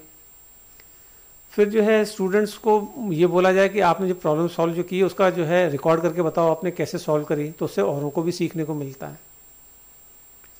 तो इस अप्रोच में जो है प्रॉब्लम सॉल्विंग के पाँच स्टेप माने गए, इसको शॉर्ट में आप आइडियल के रूप में याद कर सकते हैं I D E A L so first is identify the problem then define the problem problem है क्या we want well defined problem then explore possible solutions क्या क्या किया जा सकता है एक्ट ऑन द स्ट्रेटजीज जो आपने स्ट्रेटजी बनाई फिर उस पर एक्ट करो then look back and evaluate फिर देखो कि जो आपने किया वो काम का है कि नहीं है देन और इसमें एक टेक्निक है दूसरी वो है प्रोमोटिंग ट्रांसफ़र इसमें कि एक प्रॉब्लम आपको ऑलरेडी जो है, पहले सॉल्व की हुई है, और दूसरी प्रॉब्लम आई है, वो उससे मिलती जुलती है तो आप पिछली प्रॉब्लम की मदद से उसको सॉल्व करें। लेकिन उसमें आपको कॉमन थीम को जो है करेक्टली आइडेंटिफाई करना होगा और कॉन्शियसली यूज़ करना होगा। जैसे हमने वो पहले मैंने स्टार्टिंग में बताया था कि as bird is to sky fish is to dash तो इसमें जो है हमने एनालॉजी देखी। एनालॉजी क्या है? कि कहाँ पे वो रहते हैं या चलते हैं, उड़ते हैं। ये एनालॉजी है। ये कॉमन थीम क्या हो गई कि उनका मीडियम जिसमें कि वो बेस्ट जो है ना देते हैं। तो हमने जो है वो उसको करेक्टली आइडेंटिफाई किया, भाई बर्ड के लिए तो एयर हो गया तो फ़िश के लिए वाटर हो गया। तो ये हमने प्रमोट किया ट्रांसफ़र किया एनालॉजी से। Then there is something called dialogue तो इसमें जो है बातचीत के ज़रिए भी होता है। जब हम डिस्कस करते हैं तो वो भी बड़ी प्रॉब्लम के सॉल्यूशंस निकलते हैं। अब इसमें खास बात यह है कि एक्सपर्ट्स भी होते हैं और नोविस नोविस का मतलब जो अभी शुरुआती स्टार्टिंग किया है जिन्होंने, अभी एक्सपर्ट नहीं है, अनाड़ी जिसे कह सकते हो एमेच्योर कह सकते हो they are novice so experts जो है अलग तरीके से सोचते हैं नोविस अलग तरीके से सोचते हैं। जैसे फॉर एग्ज़ाम्पल अगर एक इंक्लाइंड प्लेन है इंक्लाइंड प्लेन मतलब किसी एक एंगल पे, एक मान लो जैसे कि बोर्ड रखा हुआ है, उसके ऊपर जो है वेट को बोला जाए कि इसको लेके जाना है वेट को। तो जो है जो नोविस है वो तो ये लगाएगा कि भाई कैसे ताकत लगाई जाए, कहाँ से ज़्यादा ताकत लगेगी, कौन जो है आदमी चाहिए बेस्ट रहेगा, वो इस एंगल से सोचेगा नोविस एक्सपर्ट किस एंगल से सोचेगा? एक्सपर्ट जो प्रिंसिपल्स ऑफ़ मोशन है, उसके बेसिस पे सोचेगा कि भाई फ्रिक्शन कम से कम होनी चाहिए। तो फ्रिक्शन कम से कम करने के लिए जो है, एक तो सरफेस चिकनी होनी चाहिए। दूसरा, अगर हम ऑब्जेक्ट को घसीटने के बजाय रोल करें तो जो है कम फ्रिक्शन लगेगी। और हम बिल्कुल एक्सट्रीम एंड से अगर जो है ताकत लगाएँ तो लीवरेज ज़्यादा होगा तो कम ताकत में हो जाएगा काम। तो experts in terms of principles सोचते हैं नोविस जो है, बिल्कुल रॉ इंफॉर्मेशन और रॉ जो टेक्निक है, वो अप्लाई करते हैं। जैसे अगर किसी आधे अधूरे चेस गेम को एक एक्सपर्ट को दिखाया जाए और एक नोविस को भी दिखाया जाए तो याद चीज़ें दोनों को लगभग बराबर ही रहेंगी। लेकिन गेम का इवेल्युएशन जो है, वो एक्सपर्ट बेटर करेगा क्योंकि वो evaluation on the basis of principle करेगा और नोविस जो है, वो ऑन द बेसिस ऑफ़ क्या दिखाई दे रहा है इस वक्त, बस उसका। तो इसलिए जो है वो डिफरेंसेस हो सकते हैं। फिर, जो कई चीज़ें जब हम डिस्कशन करते हैं तो उसमें ये हमको ध्यान रखना होगा कि कई बार जो है दो प्रॉब्लम्स का सुपरफिशियल स्ट्रक्चर मतलब बाहर से जो है स्ट्रक्चर सेम दिखाई दे रहा है। कि मिलती जुलती हैं लेकिन अंदर से एकदम फ़र्क हो सकता है। ये पॉसिबल हो सकता है। जब हम डीप में जाएँगे तो वो हो सकता है फ़र्क हो। सो so, ये भी एक आस्पेक्ट जो है ध्यान में रखने का है। सो so, इसके साथ ही हमारा आज का प्रॉब्लम सॉल्विंग का सेशन समाप्त होता है। मुझे उम्मीद है आपको समझ में आया होगा। तो मिलते हैं हम अगले सेशन के साथ। तब तक be happy Keep smiling and see you soon with more videos. Bye.